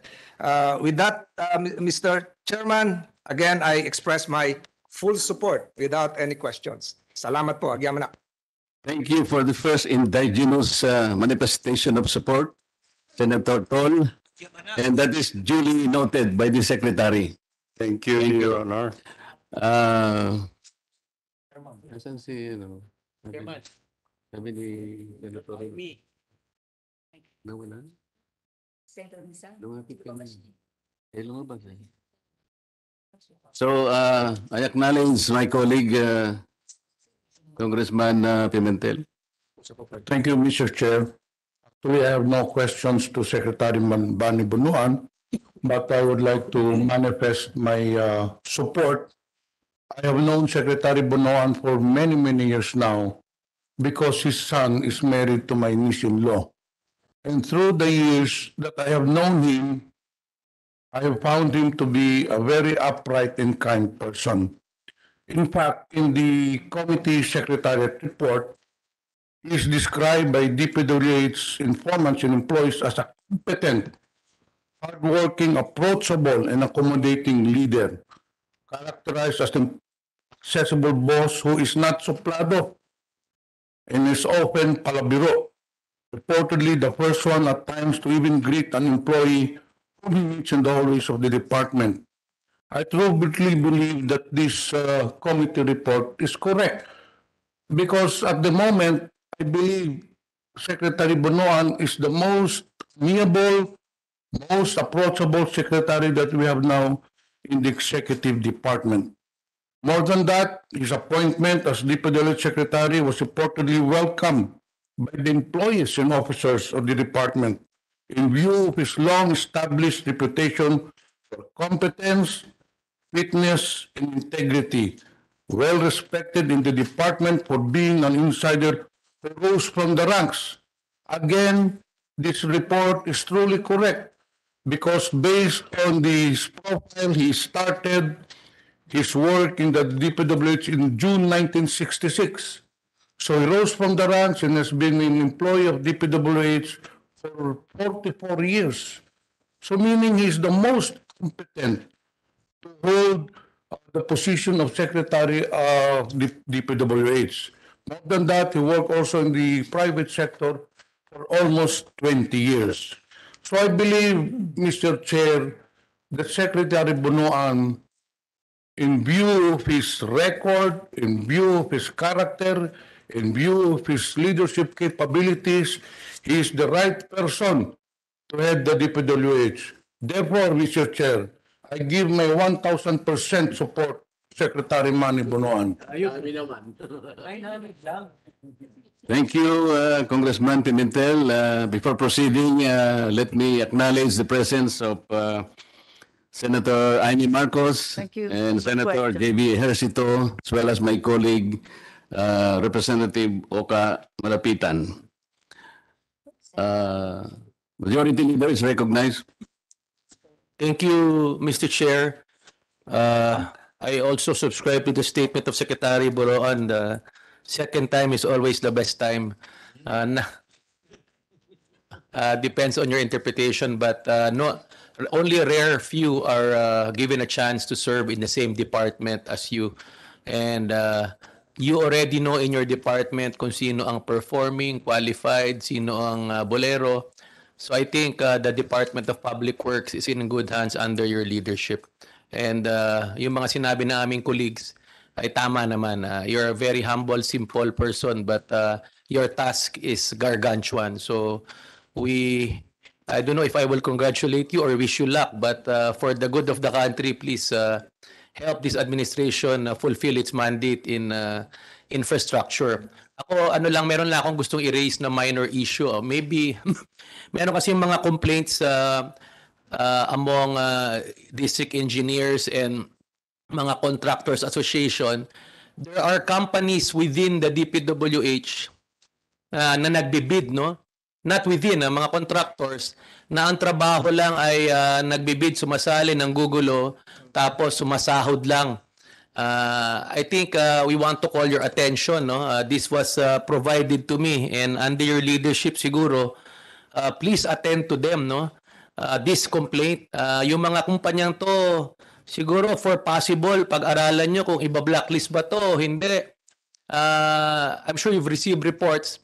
Uh, meron silang staff all over the country, bumibili ng bid document, sumasali uh, uh, with the with the business uh, strategy of sahod. Uh, itong mga kumpanyang to, uh, Mr. Secretary, for your information, nakikinig ang publiko, ang mga pangalan ay Precious Construction, St. Gerard Construction, Honeyville Construction, Ware Construction, uh, St. Timothy Construction, Alpha and Omega Construction, WCX Construction, St. Matthew Construction, OL De Leon Construction. For your info lang po, and I trust that you will act on this kasi uh, ginugulo nila po ang uh, batas na procurement. Uh, they just bid for the sake of guluhin. And we don't want that to happen. Secondly po, uh, there's a there's an NGO in the name of Crime and Corruption Watch, an accredited NGO in the DPWH, not during your time in the previous administration, headed by a certain Carlo Batalla. Ang modus operandi po niya, Secretary, NGO po siya, meaning observer po siya sa mga bidding nationwide. But ginagamit po niya yung posisyon niya para mag-extort sa mga contractors. And I know hindi nyo papayagan yan. At marami na pong akong na-receive sa aking opisina na ginagawa nila to. At uh, kilala pa namin to si Carlo Batalla. Uh, mahi, hindi naman to anti-crime crusader. Short of saying uh, alleged extortionist po to. So yun lang po, uh, we don't want this administration and in your leadership to be damaged by these shady characters. So we hope, uh, Mr. Secretary, you can attend to these complaints. Uh, these are not my personal complaints. These are complaints from contractors association and groups within uh, the infrastructure sector. Uh, maybe you can respond. Thank you, Mr. Chair. Uh, Mr. Chairman, thank you, uh, thank you, Your Honor, and thank you for bringing this up. Rest assured, Your Honor, that we will attend to it uh, 100% in order that we can clean up uh, and uh, put more uh, good governance in uh, my administration in the department, Your Honor. Thank you, Mr. Chair, and I fully support uh, the nomination of uh, Secretary Bonoan and again reiterate the DPWH and our country is in good hands under his leadership. Maraming salamat, Mr. Chair. Mr. Chair. Thank you, uh, Kong Elway. Uh, before that, uh, Madam uh, Senator, I'd like to acknowledge the presence of my colleague JP, Congressman JP Pad- Padiernos. Senator Amy, you're recognized. Thank you very much, Mr. Chair. Uh, I'm certain there's an adequate explanation for this. Um, Secretary Bonoan, please, in your SALN of June 30, 2022, there's a receivables amount of 32 million. Apparently, you gained these receivables only sometime between June 30, 2021 and June 30, 2022. Uh, May we know the details of said receivables? That's all.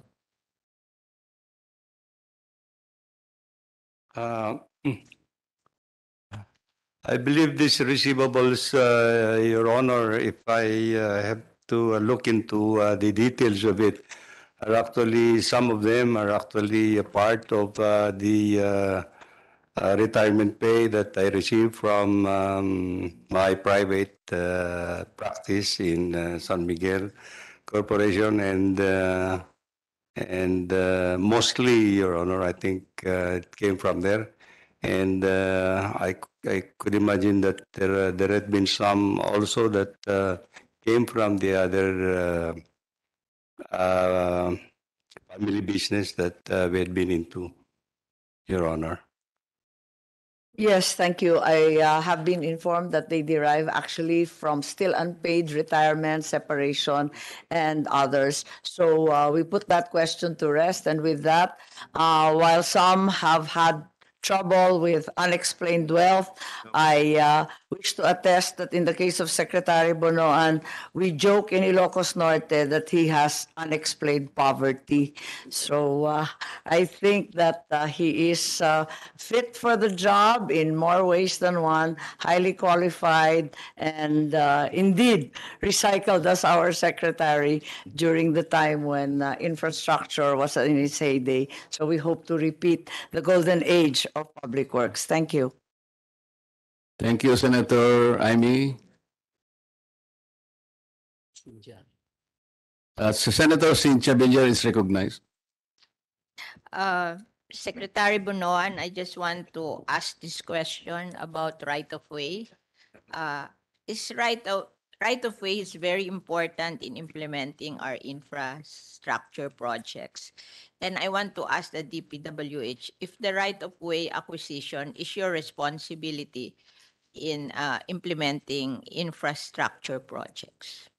Uh, Yes, uh, Your Honor, uh, the, uh, the, uh, the responsibility for uh, the acquisition of road right-of-way, right-of-way, particularly in the implementation of our national road, national roads, Your Honor, is under our responsibility. And plus, there are other, uh, other infrastructure projects of national significance that we implement.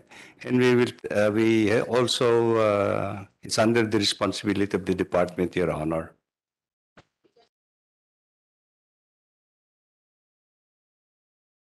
There is a complaint that the Calax is having difficulty because of right-of-way problems. So maybe you should look into it so that uh, we can implement the Calax kasi medyo delayed na yung Calax and uh, and parang sinasabi nila parang ang DPWH maybe this is in the lower echelon of the DPWH they don't want to be responsible for the right-of-way pro uh, right-of-way problem. So I hope that uh, the DPWH will realize that if you don't interfere in the right-of-way problem because you have a right of eminent domain when we're building roads, then our right our infrastructure projects will be delayed. So yun lang po and I wish you good luck uh, uh, Secretary Bunoan in your new career. Uh, comebacking career in DPWH. Thank you very much. Thank you very much, Your Honor. And certainly we will look into, uh, it has been brought to my attention actually, the, the issue on the right of way for the acquisition for the Calax. And uh, we will um certainly put our good effort actually to acquire the necessary right of way, Your Honor.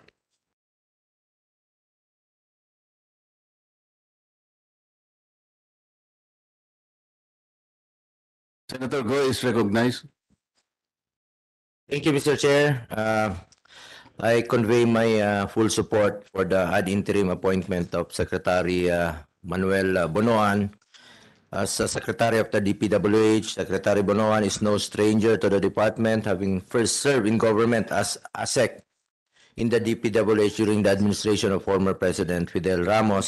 Sa private sector naman po, Secretary Bonoan was responsible for many important projects, notably the Skyway, the NAIA Expressway, the Southern, the South Luzon Expressway, and the Tarlac Pangasinan La Union Expressway, among others. Given his significant experiences, I believe that Secretary Bonoan will be instrumental in building in I believe that Secretary Bonoan will be instrumental in continuing the Build Build Build program commenced by former President uh, Duterte na naging uh, dormate po ng butihing secretary. Kita-kita naman po natin ang Build Build Build program ay patuloy na nagpapaginhawa at nagpapaganda sa buhay ng mga Pilipino. Natutuwa akong malaman na ipagpapatuloy mo talaga ito in order to sustain the country's economic growth.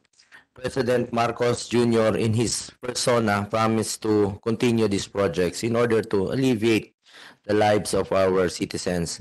By the first quarter of this year, 12 out of 119 Build, Build, Build projects have been completed at napa- napapakinabangan na po ito ng ating mga kababayan. Ipagpatuloy po natin ang nasimula ng nakaraang administrasyon and together let us keep working for a better Philippines. Let us continue working to achieve the golden age of infrastructure in the Philippines and enhance mobility and connectivity.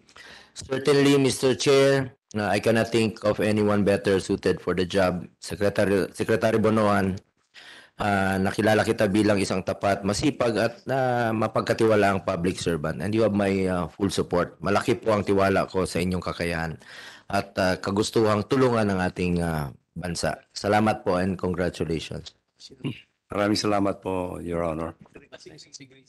Thank you uh, for your manifestation of support, uh, Senator Bong. Senator Grace po. Senator Grace po. Senator uh, Grace Po is recognized. Um, I'll yield the floor first to Congressman Romualo. Then I- Okay, um, first of all, I fully support uh, your nomination, Secretary Bonoan. I've heard uh, uh, what do you call this? Uh, uh, very good feedback regarding your work ethic and also how you've conducted yourself, your moral character. I just want to know for the record, as secretary, what do you think are the big ticket projects that you would like to achieve during this administration? Uh, Thank you, thank you, Your Honor, Mr. Chair. Um, Well, um, as has been, um, well, uh, it's actually a uh, instructions from the President to me, actually, that we need to um, uh, to re- revisit the um, uh, national road system in the country to provide more efficient uh, transportation um, linking regions uh, to provide unimpeded travel to the regions. Today, um, uh, Your Honor, um, uh, a study prepared by the JICA sometime uh, several years back, uh, we would, uh, it has been uh, indicated that the uh, the Philippines uh, would lose about 3.5 uh, billion pesos a day if we do not address traffic congestion along our national highways. And this is going to be one of the priority areas that we have to look into, Mr. Um, uh, Your Honor, Madam uh, Senator. Um, we need to provide uh, an efficient, unimpeded interregional connections, actually. And uh, secondly, we also have to look into uh, uh, addressing resiliency in uh, protecting lives uh, of uh, our people from uh, the effect of uh, climate change disasters that have been prevailing now in the Philippines, Your Honor. Well, um, actually, yes, uh, those are general statements and I agree with that, um, Mr. Secretary. I just, how about um, actual projects, like for example, linking uh, Iloilo to Guimaras? Uh, and then there's also that uh, proposal linking Batangas to uh, Mindoro. Um, is there anything in the pipeline that, that would be of that magnitude? Certainly, Your Honor, I think uh, um, this will be the inter-island connectivities that uh, we have proposed. Uh, The uh, Iloilo, Guimaras, Guimaras to Pulapandan in Negros is actually in, in the project preparation stage now. Uh, The first, uh, the first phase is actually under the uh, official development assistance of the Korean um, Exim Bank.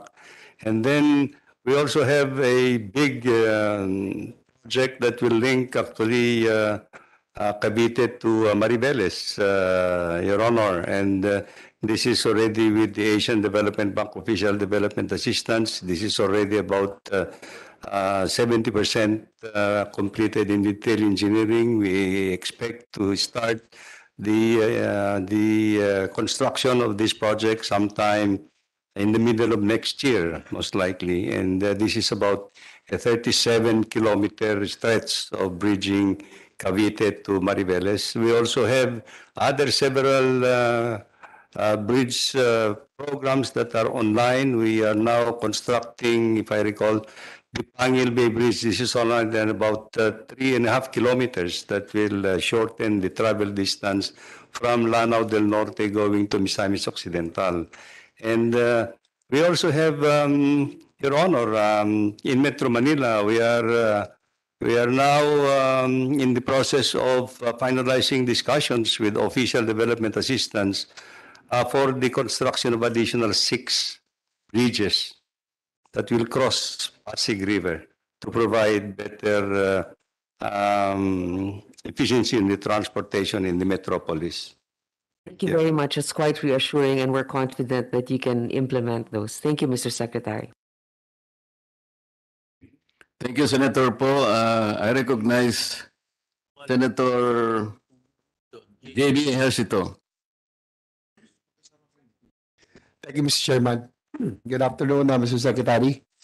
Anyway, uh, we wish you all the luck because of uh, your track record. We know that uh, uh, the president chose a, uh, a very good person to he- to head the agency, but just want you to know, of course, the challenge, you know, that DPWH is not exactly as doesn't have exactly have the be- the best image. I know that you have a very challenge, you have a task, no, uh, tough challenge, but I know that uh, you can do it. But I'm hoping also that uh, based on what my colleagues has asked, that uh, we need high impact projects really no to uh, stimulate economic growth. Um, siguro pa ulit-ulit na ako. Just want also uh, you to be aware also that sana po yung mga high impact projects talagang ituloy natin. Huwag natin hayaan na pag ito yung pag uh, pagati-hatian, no? Yung nangyari dun, yung I know that uh, I have raised this already with you, yung pong uh, nangyari sa amin sa Juan. Papakita ko na po sa inyo para lang malaman niyo yung impact no that what I was uh, although this is parochial but I know that this will also concern all the other projects no that we we should prioritize high impact projects so if you can show the pictures ito po is uh, in Barangay San Perfecto no because I was mayor of San Juan for nine years congressman for three years so for 12 years I uh, I uh, I was involved in San Juan and I know quite know the the terrain. Ito po yung problema doon, no? Ah, sige po. Just continue. And ito po yung after Odette, no? Ah, this is days after the the storm itself. Nandun pa rin po yung tubig, no? Kasi po yung this is a low-lying barangay, yung San Perfecto and Batis, no? Kasi po yung, yung water from the up uplands dito po mababa and then should empty to the to the river. Kaya nga po ay um, during my incumbency as mayor of San Juan and uh, congressman, we were able to put up six pumping stations. So halos lahat po ng barangay dun sa amin, wala na hong baha. Ito na lang po yung naiwan. Noong 2018, when I was still in the Senate, nalagyan ho natin ng pondo. Kaya lang, nagkar- nagkamali lang ho ng entry.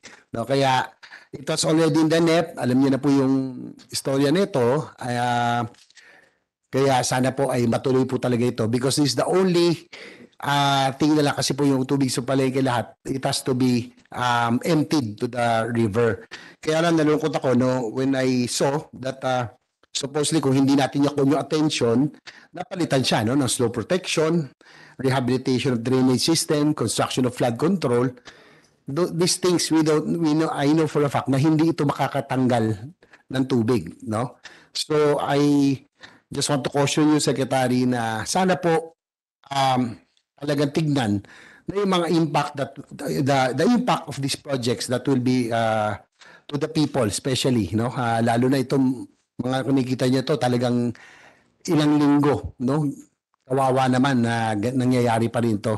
So ang sa akin lang ay um, mag-iingat po tayo. Baka mamaya yung mga nasa ilalim natin no? Mamaya hindi niyo po alam because we committed already nag-usap na tayo tapos biglang na baltampayim hope that this will not happen again Mr. Secretary I know that with your leadership with your integrity uh, you can do this kaya I just raised this na sana hindi na ul- ulit itong maulit no para this would also uh, apply to all, all other projects in other areas as well Mr. Secretary Thank you, Your Honor, and we can assure you, as we have, I have discussed this uh, issue with you, and uh, we will uh, certainly uh, take second look um, into this issue, Your Honor.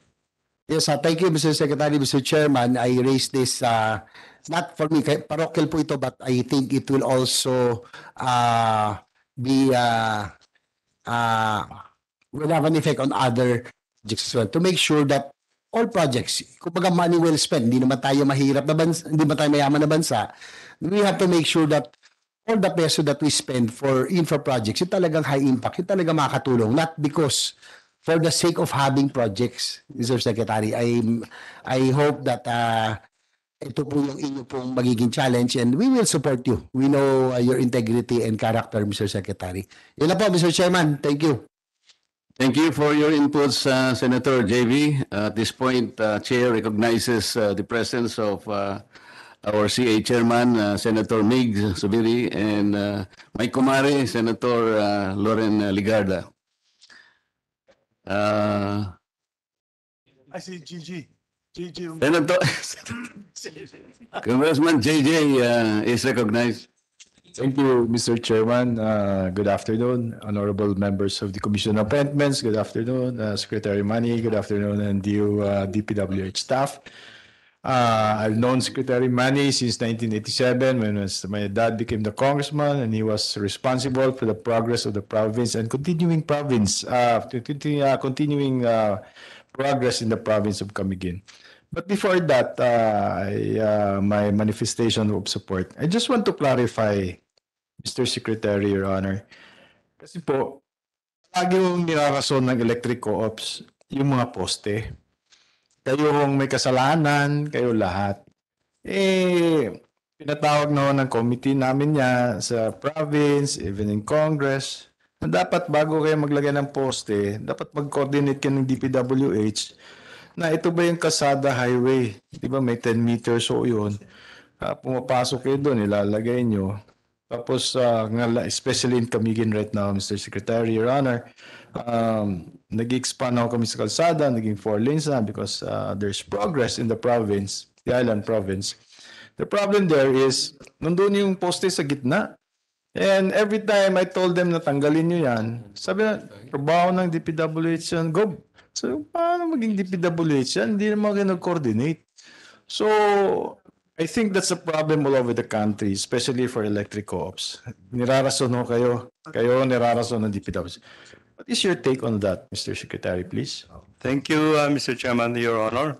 I, uh, when I, I have looked into this, and uh, no less than the president has called my attention about uh, this uh, uh, electric posts still in the middle of the road where uh, they have been widened. And um, to my um, knowledge, is actually that uh, um, there is an existing um, memorandum of agreement between the Department of Public Works and Highways and the National Electrification Administration because it's the NIA that's supposed to give us actually the cost of uh, the uh, uh, transfer of the post. And so what the department is doing, um, Mr. Chairman, Your Honor, is that we build in, we built in into the project cost, actually the cost of transferring the post. And it should be the cooperatives that should be transferring themselves. The problem is, I understand, Your Honor, is that the cooperatives are waiting for the expansion of their lines before they transfer the poles. And this is what the, this is the predicament that we are entering into. You know, it's it is supposed to be the cooperatives that should be transferring their post. We have already we have already allocated the funds to them for the transfer of the poles. This is the situation, uh, Your Honor, Mr. Chairman. So they will include, pag i-transfer nila, ayusin namin ng linya, Yes. isasama pa nila sa cost sa DPWH. Ganun Ah, ba well, unfortunately, Your Honor, it's actually the post that we have to relocate. It's not the lines. Because it's the responsibility for the lines. It's the post that we are trying to relocate. Thank you, Mr. Chairman. Um, again, Mr. Chairman, I would like to, yes, uh, Cynthia, uh, Senator Cynthia Villar first, uh, Mr. Chair. Senator Villar is uh, In recognized. connection to my uh, inquiry, Mr. Chair. Eh, as Secretary Bonoan, Meralco kami. Yan ang malaking problem natin, yung widening ng road dito sa Greater Metro Manila. Na-widen na yung road, naiwan yung poste ng Meralco. And it defeats the purpose of the widening of the road. I remember I went to Tansa, Cavite, and it has widened, but the the post of Meralco and also in Dasmariñas and uh, all over Cavite, the posts of Meralco are left out. So, walang saysa yung widening of the road, naging parking lot na ng mga tao kasi nakaganon yung poste ng Meralco. So, what is your take on that? Sino naman ang may responsibility doon? Uh, Your Honor, as I have mentioned, I, uh, what I understand from the practice now, the department is that the uh, the cost of the relocation of the poles are actually it's included in the project cost, and uh, and uh, we uh, make the arrangements actually that uh, we pay for the relocation of the post to uh, Meralco. Uh, I think, Your Honor, the, there is another expense on their part because of the transfer of the lines above. Saying, I asked the mayor, why are the posts of Meralco still there after you have constructed? Sabi daw ng Meralco, tatapusin daw yung buong kalye hanggang dulo bago ilipat yung Meralco post. Eh kung tatapusin niya yung kalye hanggang dulo, kailan pa matatapos yun? Taon yun. So in the meantime, it's in the middle of the street. I hope you can uh, settle this with Meralco. It's all over the place. Oo. Yes, certainly, Your Honor. I think, yes, uh, we will uh, put priority in, in the, uh, in uh, discussing again, again with uh, the um, uh, cooperatives and Meralco for that matter, so that I, I agree completely that the, the effort to widen the roads become useless, if you like, if the poles are not actually relocated um, soon enough, Your Honor. Thank you, Your Honor. Uh, Secretary, I hope you will do something about this. Yes, Your kasi Honor. It defeats the purpose of our Absolutely. infrastructure project if the posts of Meralco are still there. Okay, thank you very Your Honor. much. Thank you, Your Honor. Thank you, Senator Villar. Yes, Mr. Chair, I would just like to continue, Mr. Chairman. Yes, uh, Mr. Chairman, again, uh, I fully support the confirmation of Secretary Manuel M. Bunuan. As I said, I know, I know uh, Secretary Bunuan since 1987. Hindi ko nagbabago. Huwag kayo magbabago, sir. Keep up the good work. Since my father, if you go back to Camiguin, makikita niyo yung trabaho ng DPWH. I can assure you on that. Since 1987 up to the present, when I became congressman, then my son became congressman, my dad again, he died. And uh, ang trabaho na po ng DPWH doon, nandun, ang dami ng baha, lahat-lahat, pati tulay. Hindi ho na tatanggal, ang ganda ho. Uh, thank you for that. And as I said, you started with uh, the progress in the province. Okay, so Mr. Chairman, I fully support the confirmation in behalf of the province of Camiguin, Secretary Manuel M. Bunuan. This is a substantive experience and understanding of the challenges ahead, which includes climate change, promoting green engineering, sustainable infrastructure, and engineering innovations. We just hope that ample attention be given to island provinces in infrastructure development. Thank you. And uh, as I said, you have my support and my vote in the plenary later, uh, Secretary. Uh, Thank you, Mr. Chairman, Your Honor. Thank you, Kong JJ. Uh, Mr. Chairman. Is uh, recognized. Thank you, uh, Mr. Chairman, and magandang hapon po, Secretary. In relation to the concern raised by our majority leader earlier sa mga nanggugulong mga bidders, may I know from the good secretary, uh, what plans do you have or programs do you wish to undertake uh, to ensure uh, stricter eligibility of uh, potential bidders? Uh, Certainly, Your Honor, I think there is a um, existing uh, pre-qualification system that is put in place in the Department of Public Works, and I I have looked into the system, and it is a rigid system by which actually it uh, uh, um, looks into the pre pre-qualification uh, requirements of contractors. And certainly, I think it's more important actually that uh, it has to be more strict in the implementation of the pre-qualification of contractors, uh, Mr. Chairman.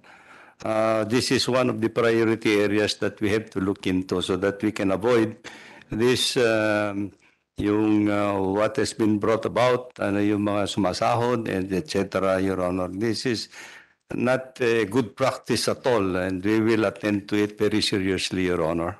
Yes, because if you uh, listen to the statement made by our majority leader, yung modus na to parang national eh, nanggugulo buong Pilipinas. So do you, uh, would, would you even consider uh, uh, national uh, accreditation on a national scope so that yung mga nanggugulo, hindi na mag, you know, they cannot, they will be prohibited from uh, uh, uh, joining bids in in all over the all over the country no kasi eh, modus na ito nangyayari um, uh, Mr. Secretary uh, I think you, you should look into this to ensure that only qualified bidders are able to join. Because sa sa batas naman, hindi mo naman sila pwedeng i-prohibit sa pagbili ng ano eh, ng bidox eh, di ba? Oo, so 9184 is very uh, clear on that. The only time you can uh, you can disqualify them is outright technical, no? Uh, upon opening of bids pag if they're not able to ano or post disqualify them should you find uh, should you have findings post bidding. So uh, would you consider having a national accreditation to ensure that only qualified bidders are able to attend? I think that's a good idea, Your Honor, and I think we will, uh, we will im- to uh, nationalize actually the pre-quali- pre-qualification of uh, contractors uh, so that uh, we can keep record of every contractor in a national level, Your Honor. Thank you very much. Thank you for considering that, Mr. Thank Secretary. Honor. Thank you, Mr. Chair. Thank you, uh, Kong Fred, uh, Freds. Uh, I recognize Kong uh, GP. After that, uh, Senator Loren, and the last will be the CA Chairman, Senator Miggs. Thank you. Mr. Thank you, Mr. Chair. Uh, this is not a question, Mr. Chair, but a comment regarding our nominee. Fifty-seven years. That's how long our nominee has been in the field of public works. Na, nasabi tuloy yung age. Nais kong pasalamatan ng ating nominee sa kanyang mahaba at magaling na serbisyo sa ating bansa Mapalad tayo na may mga public servants na tulad ng ating nominee na nagsasakripisyo para sa kapakanan ng ating bansa. For that, Mr. Mr. Chair, uh, Mr. Secretary, you got my support and I will vote for you in the plenary. Thank you. Your Honor. Thank you. Senator Legarda is recognized. Thank you, Mr. Chair. I would like to express and manifest my full support to Secretary Bonoan, who has been in this field for many decades, out uh, uh, maybe much more than some of our age. So he would know, really. But of course, during the time when he started and now, we have challenges like climate change. And so I just have one brief question so that it's clarified. Uh, but it is not to make his life difficult or to show um, any uh, challenges in his confirmation because, as I said, we fully support his confirmation. But when the NEP was made, you were not yet secretary. When the GAB was, I'll take this out. When the GAB was passed by the House, there was no Typhoon Paeng yet. But you've seen how devastated several provinces and regions due to this super typhoon Paeng. Thank you for visiting my home province of Antique right away. I truly appreciate that. Thank you for going all over the country uh, in areas that were affected by the super typhoon. But what do we do for bridges, rehabilitation, reconstruction, retrofitting, and new bridges for those areas like ours in the Paliwan Bridge that was devastated and 51 meters of the 300 meters was uh, actually collapsed. Actually, I have the answer, but if there is no intervention from a lawmaker, what is the recourse of the executive if the typhoon happens after the NEP and the GAB have been done? And it is not just one bridge, but many other bridges around the country that need retrofitting as well, and others which are also affected by uh, earthquakes. So, Mr. Secretary, what is the recourse of a secretary like you, uh, whose job it is to ensure the safety of everyone, especially in road connections, uh, bridges, and other infrastructure, critical infrastructure? Thank you, Secretary. Uh, Thank you, uh, thank you, Your Honor, Mr. Chairman. I think this is a very uh, important issue that uh, the department has to address, uh, Your Honor, because of the effect of climate change. I think we have to revisit actually our design parameters actually at this point in time because of these experiences that we now, um, well, because of when before we uh, our design parameters was only at a uh, return period of 20 25 years return period of floods and things like this. Now we can see that I think uh, most of this flooding is, ex, uh, is excessive floods. It's uh, we calculate it to almost about 50 to 100 years return period now, Your Honor. So we'll have to revisit our design parameters at this point in time uh, so that we can adjust now to the um, demands for this climate change uh, phenomenon, Your Honor. Now, um, in cases of uh, these uh, damages, unfortunately, there are still going to be many damages, actually because of the old uh, structures and the bridges. And uh, the only recourse that we have, uh, Your Honor, for the time being is to have the quick response fund immediately to restore mobility in these areas. And then uh, after, uh, after we have restored actually the mobility, then we have to uh, make sure that uh, we give priority already to the reconstruction of the bridges in the succeeding uh, budget years, Your Honor. The construction of the bridge. But if it is not in the NEP and the GAB, it is up to us senators, sir, to amend the budget to include a whole new bridge like what I'm doing. Nag-usap po tayo. I appreciate your visit and the president visited. But if I, as lawmaker, will not amend the GAA of 2023, both your regional director and yourself said, walang pagkukunan kasi nasa amin na po ang budget. And so, I have to come to the rescue and amend the GAB to include that in toto, buo. I don't think any other senator can help me do that because they have many other concerns in many other provinces. So that's quite a heavy burden to bear, but I will do it as I promised you. And you heaved a big sigh of relief when I said, yes, I will amend with the support of the leadership of the Senate and my colleagues because we cannot have a collapsed bridge in the middle of our province. And that would cost 300 million. It cannot be covered by the quick response fund. Uh, let's say even the bridge connecting Miagao and um, uh, Iloilo and Antique, it's just a temporary retrofit for light vehicles.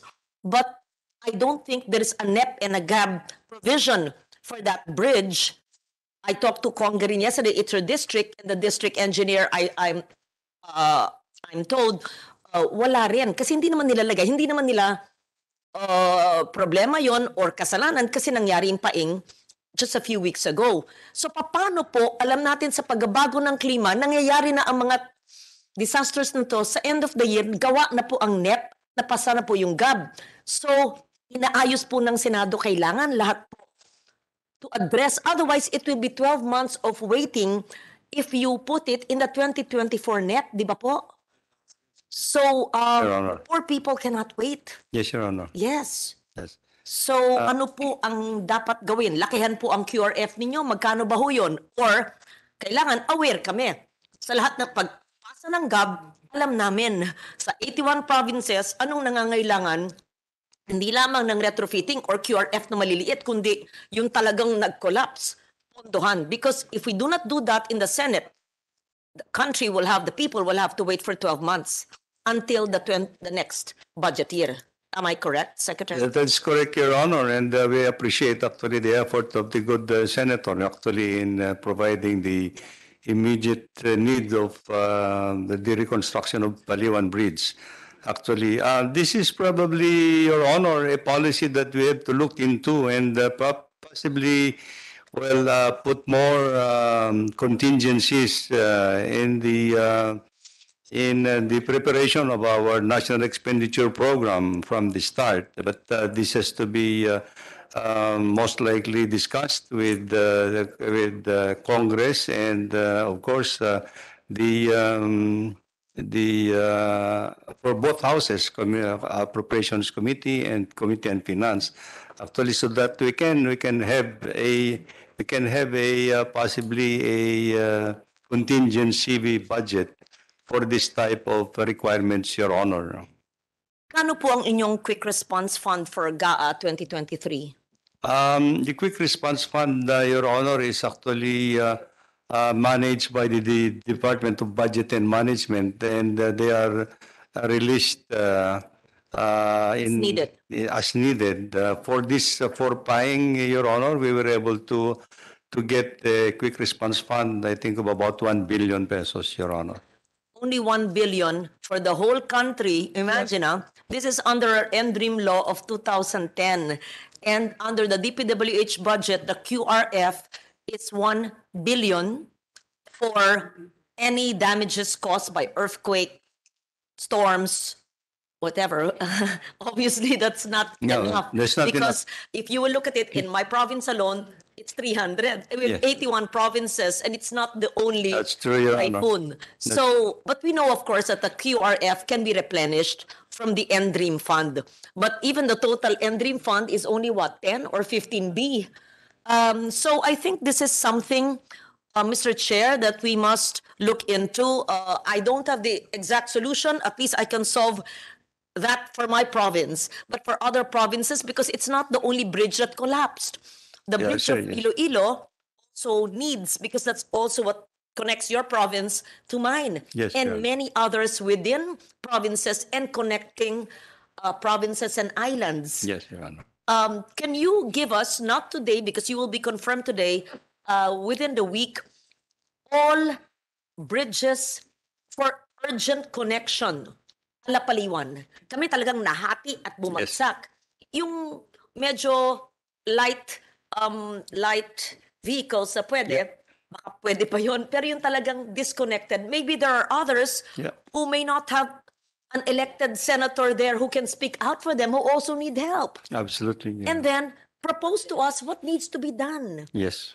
Hindi po pwedeng puro band-aid solution po tayo, but we really appreciate uh, your going around right after Typhoon Paeng hit us. So thank you for that, but it's a question mark which is lodged in Congress. What do we do when at the last quarter of the year, that's when the strongest storms come and the budget, so the NEP and the GAB are done. So this, how much can the Senate realign to help these provinces? Yun na po. Yung pala isipan, I will not give the answer. I will leave it to the good secretary perhaps to tell uh, Congress or the Senate what a special provision perhaps would address that issue. But I'm happy to help you with that one bridge problem of Paliwan with the permission and support of our Chair of Finance and the Senate President. We will put that budget for the whole bridge. Thank you, Your Pwede ba? Honor. Thank you very That's much. one bridge off your back. Thank you, Secretary. Mr. Chairman, uh, follow up uh, uh, manifestation and uh, with regards to Senator Ligarda. That, these That was bridges- not a manifestation. Uh, no, it's not manifestation, Mr. Chair. I'm sorry. Uh, it's just, uh, I just want to continue. Um, not only a band-aid solution for, especially on bridges, Mr. Chair. Just one minute, Mr. Chair. Uh, Mr. Secretary, I noticed, uh, kaya nagkukulapse yung mga tulay. I'm sure sigurado naman yung DPWH na talagang matibay yan and everything. But because of this climate change, meron lang akong suggestion kasi tapos na yung budget for 2023. Pwede also ay 2024, along the national highway, maglagay ho tayo ng weighing scale for these trucks.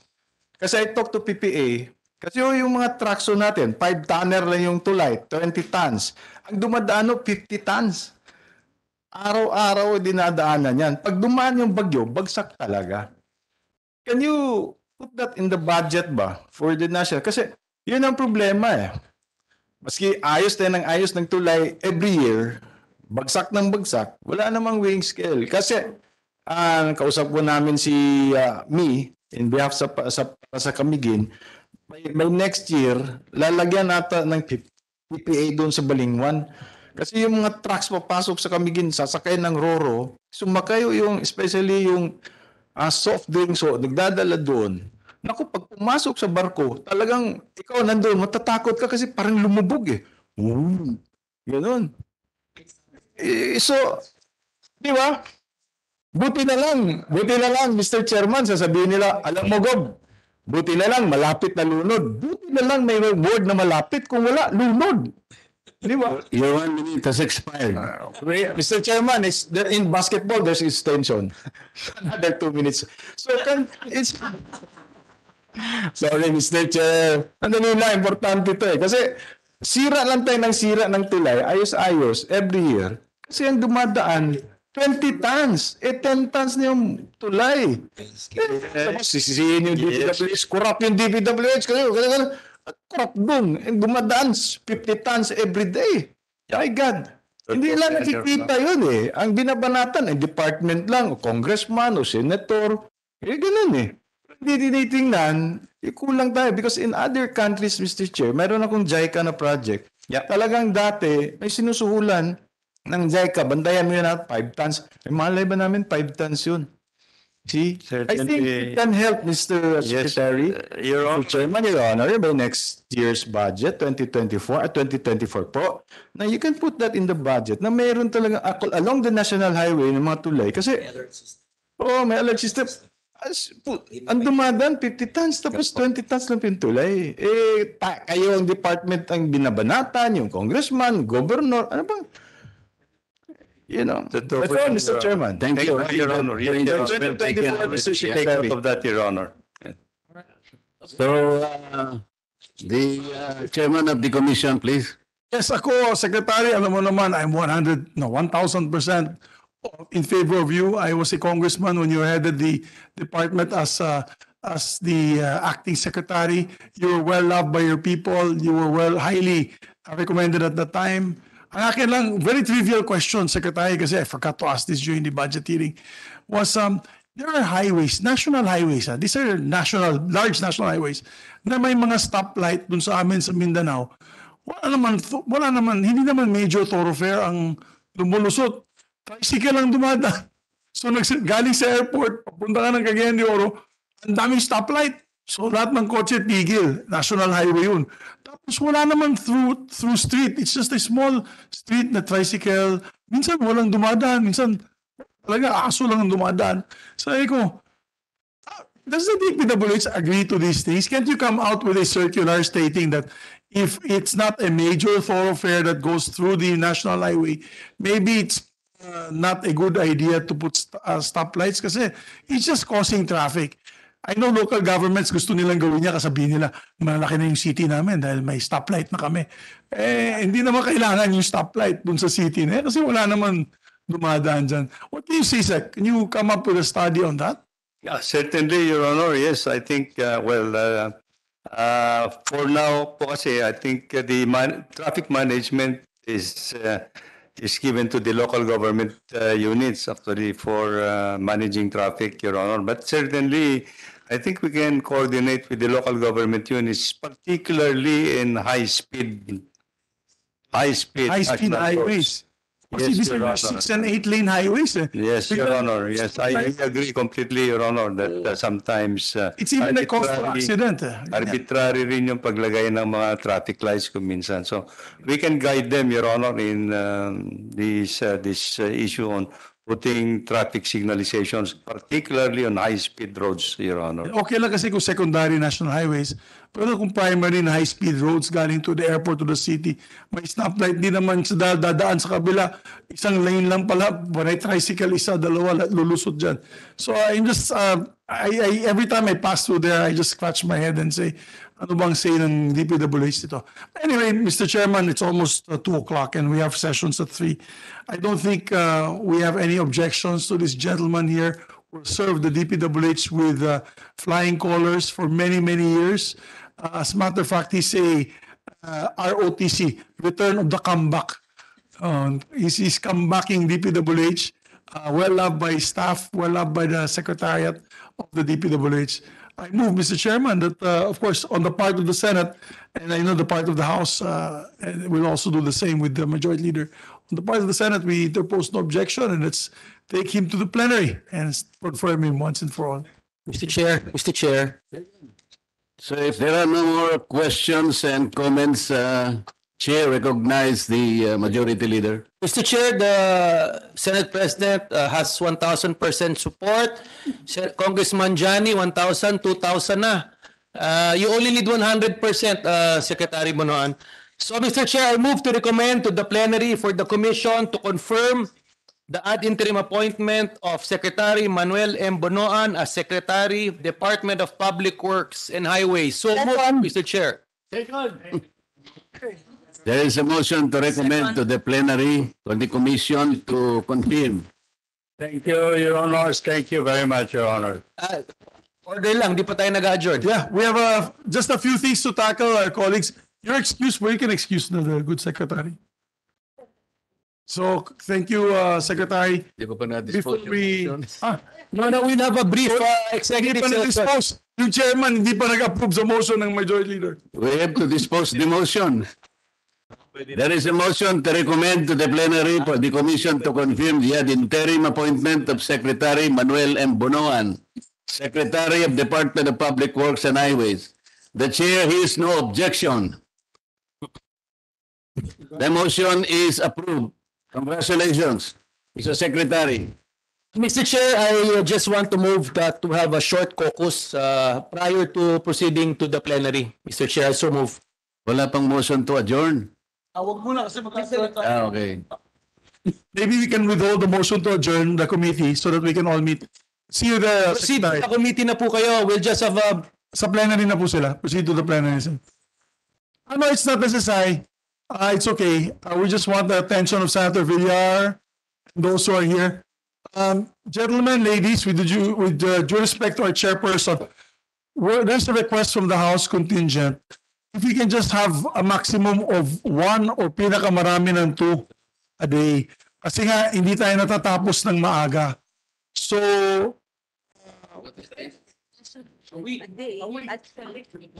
uh, no, uh, so you want one a day? What is the pleasure of the body? Uh, Mr. Chair, uh, on behalf of the House, may we request kung pwedeng one a day lang kasi that's what that's the practice even uh, before.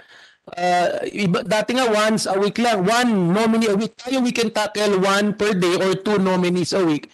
For the simple fact that uh, medyo we cannot anymore attend some of our sessions and all in the House and I'm sure you would uh, agree. And considering today we only had two nominees and we're already finishing by two. And we also don't want to affect the your schedule of 3 p.m. Uh, Mr. Chair, so for consideration of our colleagues in the Senate, Okay, um, my only problem is the lobbying of our colleagues and the lobbying of the secretaries. Kasi mangyayari dyan, may mag may, may bypass. Kasi as of now, with the schedule of two on Tuesday, two on Wednesday, matatapos natin yan by the night, by December 13th, 14. 14 yata is the last day. 14. But if we're going to do it one a day, may mababypass dyan. Now, I'm going to ask the majority leader to decide on my behalf na lang or in a group chat, sino bang uunahin natin? Kasi let's start maybe next week. Yung bukas tuloy na okay natin. na, yeah, we all agree. We, we, we, We agree to that. Because like yesterday, nilapitan ako ni Tita Cynthia about Toots Ople, nilapitan ako ng iba about sa other secretaries. May, mabab- may maiiwan talaga dyan. So, we're going to have to decide as a body, who do we take up once every Tuesday and once every Wednesday. Maybe we'll make an exception. If it's all right with the body, if it's defense of JJ or DFA, which is ambassadors, hindi natin isabayan ng isang secretary. Yes, uh, yes. wala namang question yung mga yun. We agree with you. Okay. But um,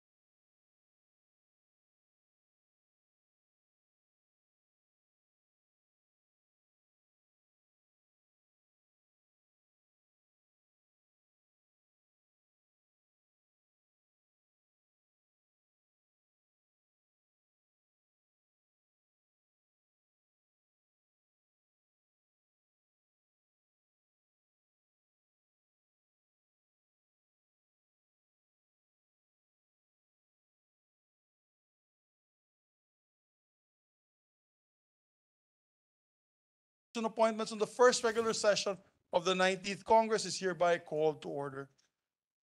On behalf of Senator Francis Escudero, who's signed today, may I call on Senator Grace Poe to lead us in, the- lead the chamber in prayer. Again, disclaimer, this is the prayer of Senator Cheese Escudero for all of us. Almighty God, we thank you for the enlightened and fruitful discussions earlier today that led us all here now at the plenary as we conclude the meticulous and arduous process of ensuring that the government bureaucracy will only have the right people. We are aware that as public servants, you have blessed us with the rare opportunity of making us instruments for the fulfillment of your plans for our country and the Filipino people. In the Gospel of Matthew, chapter 24, verse 40, our Lord Jesus said, Truly I tell you, whatever you did for one of the least of these brothers and sisters of mine, you did for me. May we all take this verse to heart as we serve your people. We are all our brother's keepers, more so if we put in positions of authority to look after the marginalized and the ordinary. Panginoon, ang aming bansa ay humaharap sa napakaraming pagsubok. Hindi magiging madali para sa lahat ang mga susunod na buwan at mga taon. Hinihiling namin ang iyong pagkalinga at biyaya. Bigyan ninyo kami ng lakas upang malampasan ang mga hamon at pagsubok ng panahon bilang isang bansa na buo ang pananalig sa inyo. We especially pray that the Holy Spirit will guide our government officials and public servants so that in everything we do, we are fulfilling your will. With you as our strength and guide, may we all make a difference to the lives of all the 115 million Filipinos. Amen. In the name of the Father, Son, and the Holy Spirit. Amen. Please remain standing for the singing of the Philippine National Anthem.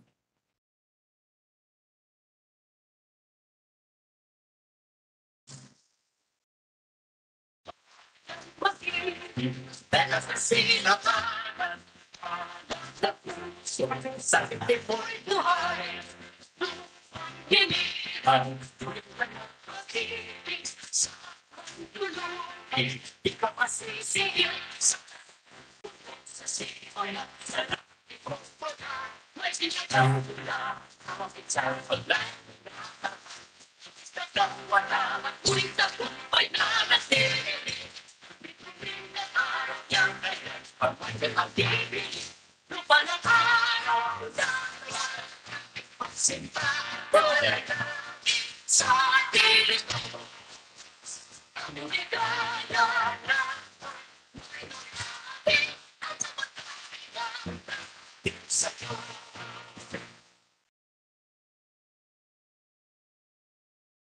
Secretary, please call the roll. The honorable members of the Commission on Appointments, Maria Lourdes Nancy S. Binay, Virginel G. Biron, Alan Peter Compañero S. Cayetano, Joseph Victor G. Ejercito, Francis Chis G. Escudero, Jinggoy Ejercito Estrada, Albert S. Garcia, Greg G. Gasataya, Christopher Bong Go, Ramon N. Guico Jr., Risa Ontiveros, Lauren Legarda, Oscar Oka G. Malapitan, Rodante D. Marcoleta, Amy R. Marcos, Lani Mercado Revilla, Jose Gay G. Pajernos, Johnny T. Pimentel, Grace Poe, Jordine Jesus M. Romualdo, Manuel T. Sagarbaria, Francis Tol N. Tolentino, Luis Raymond L. Ray F. Villaferte Jr., Cynthia A. Villar. The chairperson is present. With 20 members present in person and no one online, we have 20 members present. The chair declares presence of a quorum. Majority Leader. Mr. Chair, I move to dispense with the reading of the journals of the plenary sessions held on September 27 and 28, 2022, and consider the same as approved. There being no objection to the motion, of Majority Floor Leader, the motion is approved. Mr. Chair, may we now proceed to consider the recommendation of the Committee on Public Works and Highways on the ad interim appointment of Mr. Manuel Manligas Bonoan as Secretary, Department of Public Works and Highways. I so move, Mr. Chair. There being no objection to the motion of the majority floor leader, motion is approved. Mr. Chair, I move that the chairperson of the Committee on Public Works and Highways, Representative Rodante D. Marcoleta, be recognized. The distinguished gentleman from our party list is recognized Congressman Rodante Marcoleta.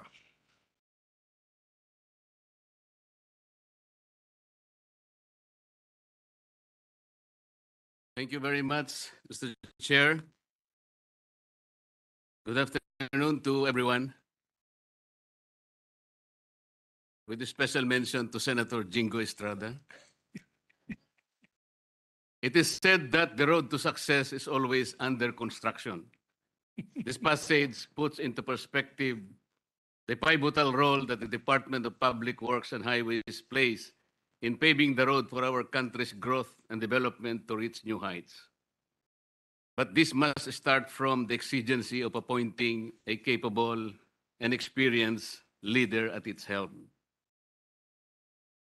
Honorable Chairman and distinguished members of the Commission on Appointments, it is my honor to sponsor the confirmation of the ad interim appointment of Manuel Manligas Bonoan as Secretary of the Department of Public Works and Highways. Known as Manny to his family, friends, and colleagues, this gentleman, born in Solsona, Ilocos Norte, is a true-blooded public servant with four decades in government service, particularly in this department in which he served with utmost dedication and commitment.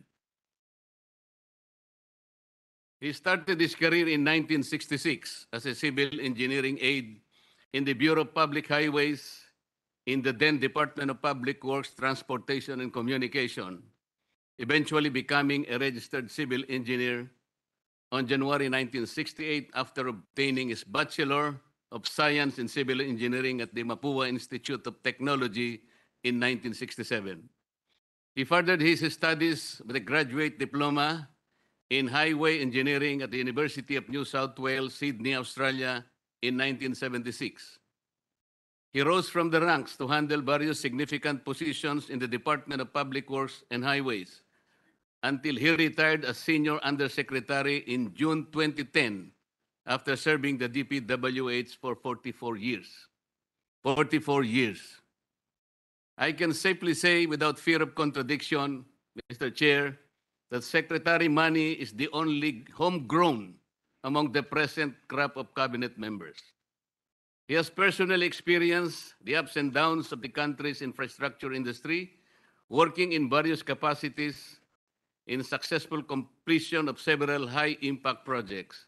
He is acknowledged for his technical preparedness and expertise in public works and is described as the main anchor for the successful implementation of public works projects, particularly foreign-assisted projects including JICA, UNDP, and the Asian Development Bank.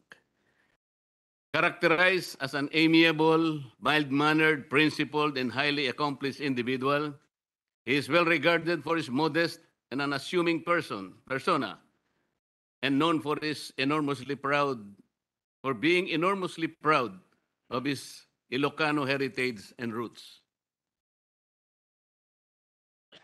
He joined the private sector in 2011 after his retirement from government service as consultant advisor to the infrastructure, sec- infrastructure sector of the San Miguel Corporation and thereafter as the conglomerate's president and COO for Skyway Operations and Maintenance Corporations. He had to make a great sac- sacrifice by giving up his, his, his lucrative job in the private sector, with many sources expressing the belief that he accepted the post to be able to leave a lasting legacy for the country by helping the president succeed in his public works agenda when he accepted the appointment to be the 40th Secretary of the Department of Public Works and Highways, for, his, for which he was reported to be the first and the only choice of the President. His appointment as DPWH Secretary was warmly welcomed by the employees and officers of the department in view of his long-established reputation for competence, fitness, and integrity. He is well respected in the department for being an insider who rose from the ranks and acquired vast experience mastering the nuances in the execution of public work projects. The TPWH Central Office Employees Union, representing more than or more or less 4,000 plantilla employees of the DPWH Central Office, issued resolution number 2022-13, dated September 12, 2022, manifesting their full support, full and unequivocal support to his confirmation as DPWH Secretary, citing his competence, hard work, and experience, and for being a self-made man and an effective and efficient public servant.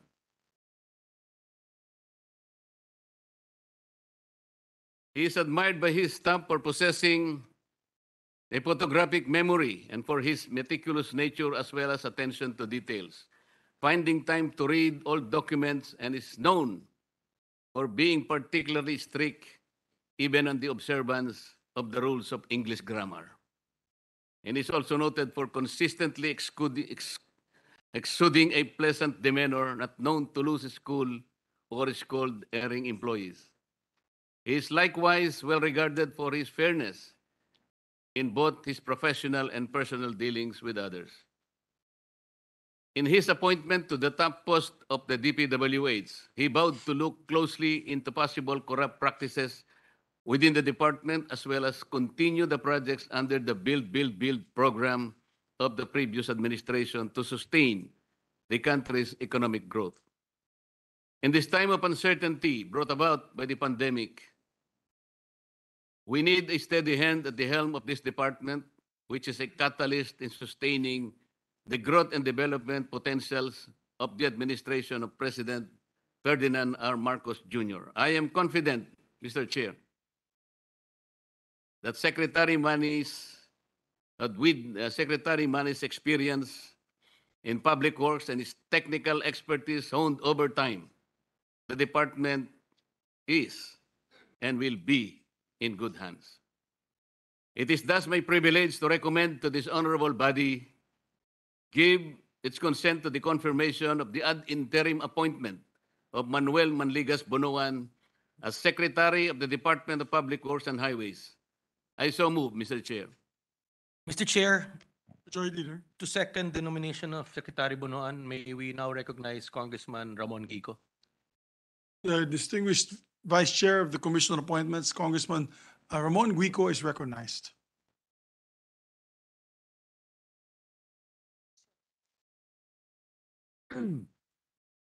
uh, Mr. Chairman, and fellow members of this commission, our appointee is a dedicated engineer and a very qualified to lead the Department of Public Works and Highways.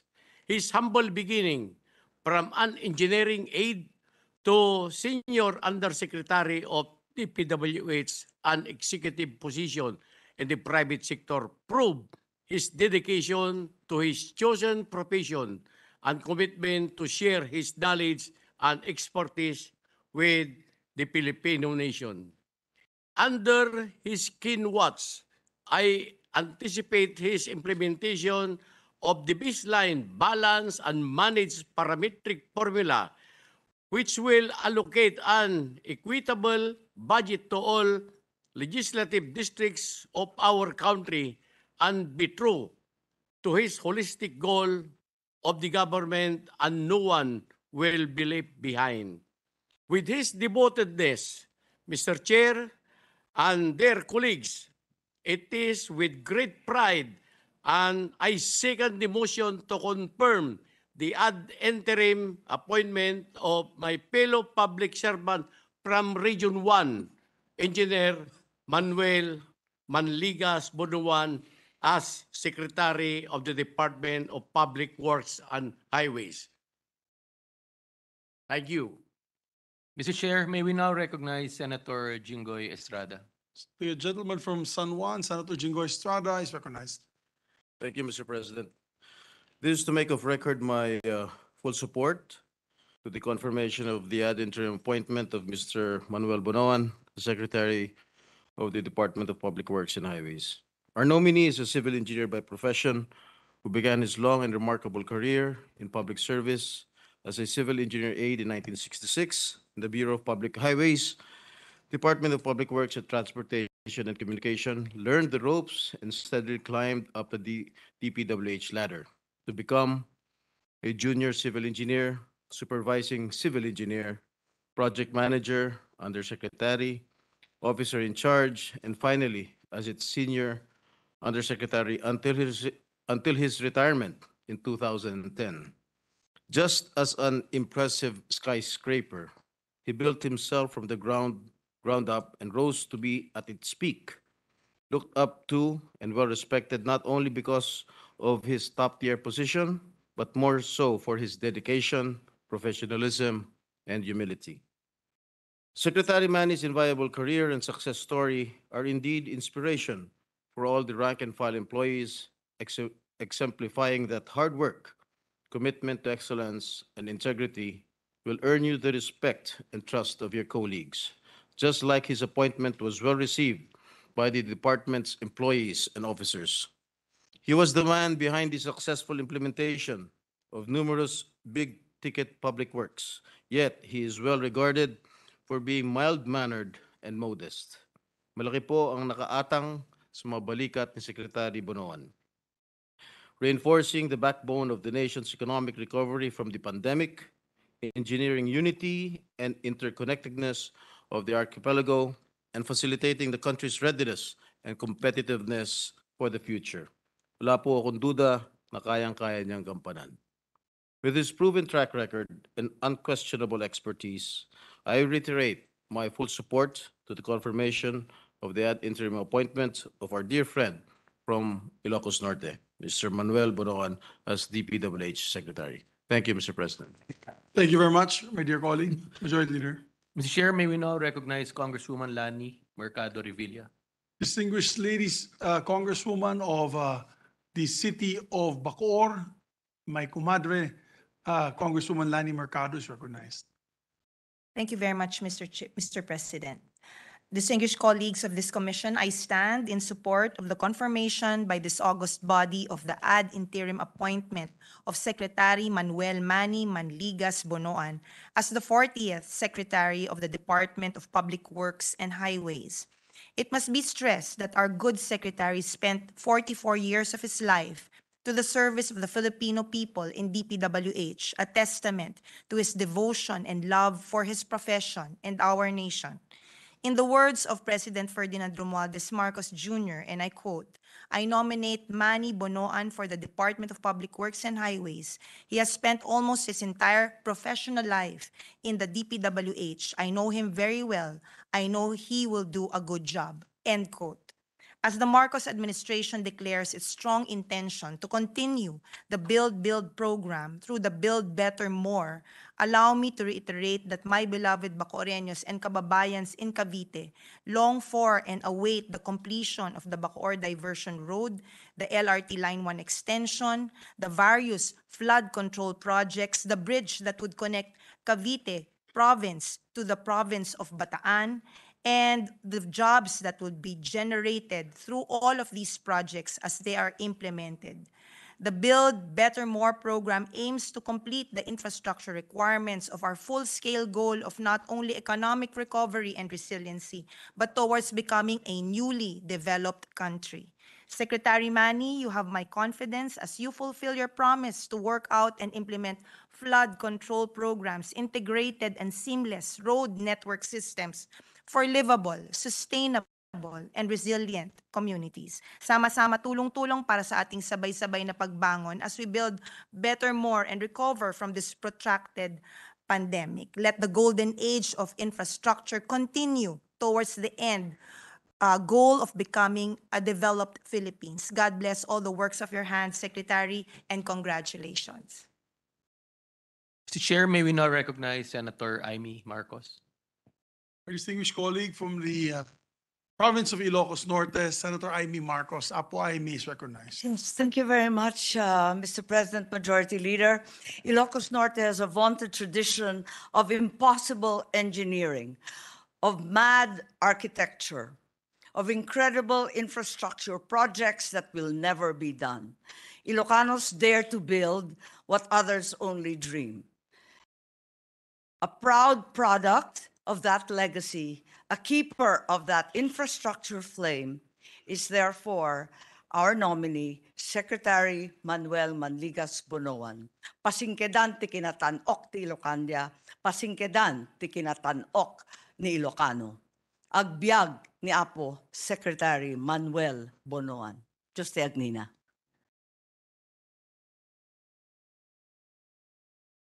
Agoreka. Um, uh,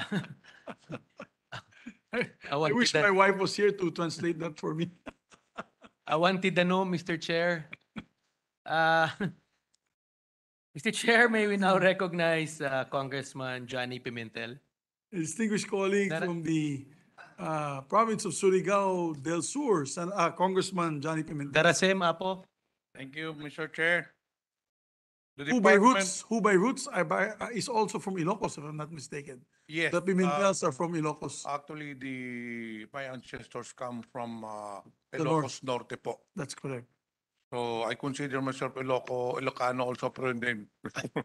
Anyway, Please Mr. proceed. Chair, Please proceed. moving forward, the Department of Public Works and Highways is the government's arms vested with the lofty mandate of carrying out the state's construction and engineering undertakings. It is the executive office task to continuously develop its technology to ensure the safety of all infrastructure facilities and secure all public works and highways with the highest efficiency. That our biggest and tallest of buildings, bridges, and edifices stand firm because of the foundation laid by the DPWH. The same department tasked to do so must also have its core a strong foundation. The personification of such strong foundation could be found in the person of Secretary Manuel Bonoan, a public servant, dedicated and committed to the vision of the department. In his sleeves, he holds a total 44 years in government service. Secretary Mani is one who is all too familiar with the work of his office, where he rose to the ranks. His stint covers a full government service tour, starting as a civil engineering aide in 1966 to department senior undersecretary upon his retirement in 2010. In the scholarly realm, Secretary Mani is no stranger to publishing his learned treatises in ensuring that not only buildings are enriched, but also an institutional memory of experience that can be passed on to the following generation of Filipinos to come. In 1993, he published Public Works Research and Development in the Philippines, Development of an Arterial Road System in the Philippines, in Road Safety in the Philippines. Later, in 1994, he also published Damage of Highways and Effects of Passengers, Goods Flow in Disaster Emergency, and Contemporary Problems and Policy-Making Trends in Transportation Infrastructure Improvement in Developing Countries. All this invaluable contribution to the intergenerational marketplace of knowledge. Since his retirement from government in 2010, Secretary Bunoan has enjoyed the lucrative life in the private sector. However, heeding the clarion call by President Bongbong Marcos to master in the name of public service, Secretary Manny rises anew as the DPWH's 40th Secretary, a true and meaningful demonstration of love to the Filipino people. Therefore, Mr. Chair, I second the motion for the confirmation of the interim appointment of Secretary Manuel Bonoan as Secretary of the DPWH. So moved, Mr. Chair. Thank you, Congressman Pimentel. Mr. Majority- Chair, may we now recognize Congressman Oka Malapitan?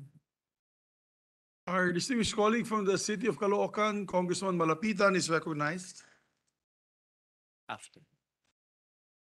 Maraming salamat, Mr. Chair, sa mga minamahal nating kasapi ng komisyong ito. Ang pangalang Manuel Manligas Bunoan ay nagsilbing institusyon sa kagawaran ng DPWH, isang produkto ng Mapua Institute of Technology na nagtapos ng kursong engineering. Agad na sumabak si Secretary Manny sa kagawaran ng dating Department of Public Works and Highway noong administrasyon ni dating Pangulong Ferdinand Marcos Sr. At matapos nito ay mabilis na umangat sa kanyang posisyon, dating Ministry of Public Highway, hanggang makamit niya ang posisyon ng Chief Civil Engineer. Si Secretary Manny ay nagsilbi ding Assistant Secretary ng DPWH noong 1987 hanggat malagay siya bilang Undersecretary ng kagawarang ito. At minsan naupo din bilang officer in charge ng DPWH noong 2007. Sa madaling salita, malawak ang karanasan sa paggawa ng pagpanatili ng mga daan. Itong karanasan din ni Secretary Manny ang naging dahilan ng kanyang makamit ng ang Most Outstanding Civil Engineer Award noong 2006 pati na din ng Outstanding Alumnus Award ng Government Service. Kung kaya't hindi na dapat pagtakhan kung bakit si Secretary Manny ang naatasan ni Pangulong Ferdinand Bongbong Marcos bilang kalihim ng DPWH. At sa mga rason na it, ding ito, taus-puso kong sinisigundahan ang pagkumpirma kay Secretary Manny bilang kalihim ng DPWH. Maraming salamat, Mr. Chair. Mr. Chair, may we now recognize Congressman uh, GP Padiernos? Congressman Pajernos is recognized.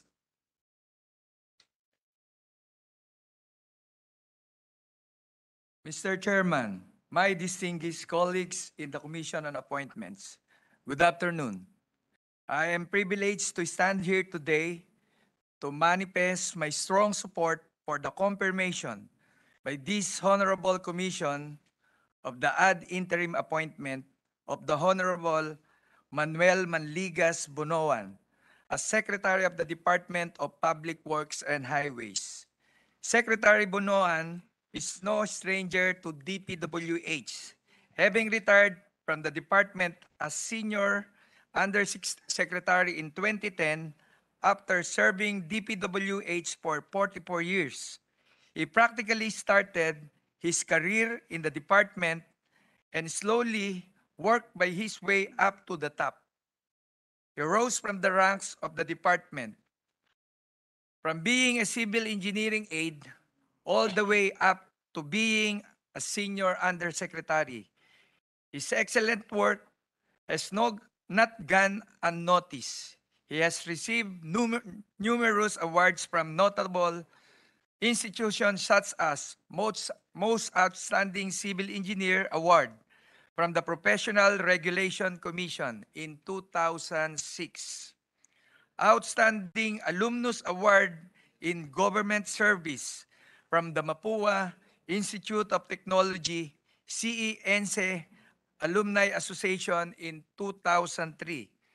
Most Outstanding Millennium Consultant from the Society of the Philippine Accredited Consultants Incorporated, SPAC, in 2000. He has also been recognized by his peers and has been elected to high positions in the various organizations he has joined. Past President, Philippine Institute of Civil Engineers, PICE, Past President, Society of Philippine Accredited Consultant Incorporated, SPAC, and Past President, Road Engineering Association of the Philippines, REAP. After retiring from the department in 2010, Secretary Bonoan's talent and expertise was harnessed by the private sector when he was invited to become a consultant advisor of the infrastructure sector of the San Miguel Corporation, and therefore the President and Chief Operating Officer of Skyway Operations and Maintenance Corporation, SOMCO. Secretary Bunoan has been character- characterized by various sources as an amiable, mild-mannered, principled, and highly accomplished individual. He is noted for being a devout Roman Catholic and a responsible family man to his spouse and children. He is well regarded for his modest and unassuming persona and known for being enormously proud of his Ilocano heritage and roots. Secretary Bunuan had to make a great sacrifice by giving up his lucrative job in the private sector and accepting the post offered by, to him by the president so that he will be able to leave a lasting legacy for the country by helping the president succeed in his public works agenda. It is, therefore, but fitting that we allow this good man to cap his career at the helm of the department he has served so long and so well. I, therefore, join the rest of my colleagues in the Commission on Appointments in expressing my full support for the confirmation of the ad interim appointment of the Honorable Manuel Manligas Bunuan as the Secretary of the Department of Public Works and Highway. Thank you, Mr. Chairman. Thank you, Mr. uh, Leader. Mr. Chair, uh, Senator Ersa- Ejercito has expressed that his uh, support uh, be put in record uh, instead of him uh, uh, Delivering reading it. speech. Yes, we take note And- of that. Thank you. And uh, Mr. Chair, uh, on the part of the majority, we support the confirmation, the ad interim appointment of Mr. Manuel Manigas Bonoan as Secretary, Department of Public Works and Highways. I su- Mr. Chair, on the part of the minority, we fully support the confirmation of the ad interim appointment of Secretary Manuel Banoan to the DPWH. So s- uh, there being no objection, and there's a motion, I would just like to say that Secretary Bunoan is fit for the job. He's well-loved and well-liked by his peers. He comes in as a, a secretary or a public servant who does not need the learning curve because he grew up from the ranks of the DPWH. The hands of the DPWH are safe with this gentleman, and I'm proud to move to act on the motion. There being no objection, the ad interim appointment of Secretary Manuel Manligas Bonoan is hereby confirmed and approved.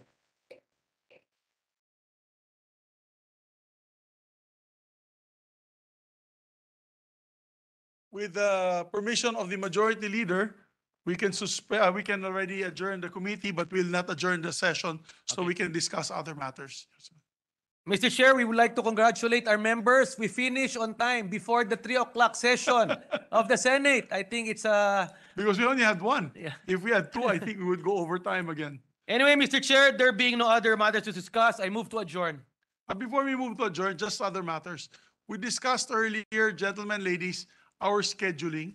Uh, I know we're pressed for time and that uh, uh, we only have a few session weeks, not to mention November 30, a Wednesday, is a holiday. So wala po tayong trabaho sa November 30. May I just ask our colleagues if we can just, um, because there's an appeal from our colleagues, that we keep it to two Actually, one dapat, but uh, okay na po yung two secretaries or two chairmanships a day ang itatakal. So that will include the DFA and uh, the DND. So we will ask the secretary of the CA to come up with a new schedule kasi meron dun tatlo eh. So request nila dalawa lang maximum and that we start at 9 a.m. sharp. Is that agreeable with everyone, Majority Leader? Yes, except for tomorrow. Except for tomorrow. We concur, Mr. Thank you. Chairman. So except for tomorrow, we have three, uh, uh, two secretaries and one, uh, head of the commission on appointments to tackle. With that, there being no other matters, and no objection to the motion to adjourn, Tomorrow, 9:30. the commission appointment is hereby adjourned. Maraming salamat. Mr. Chair, we request a photo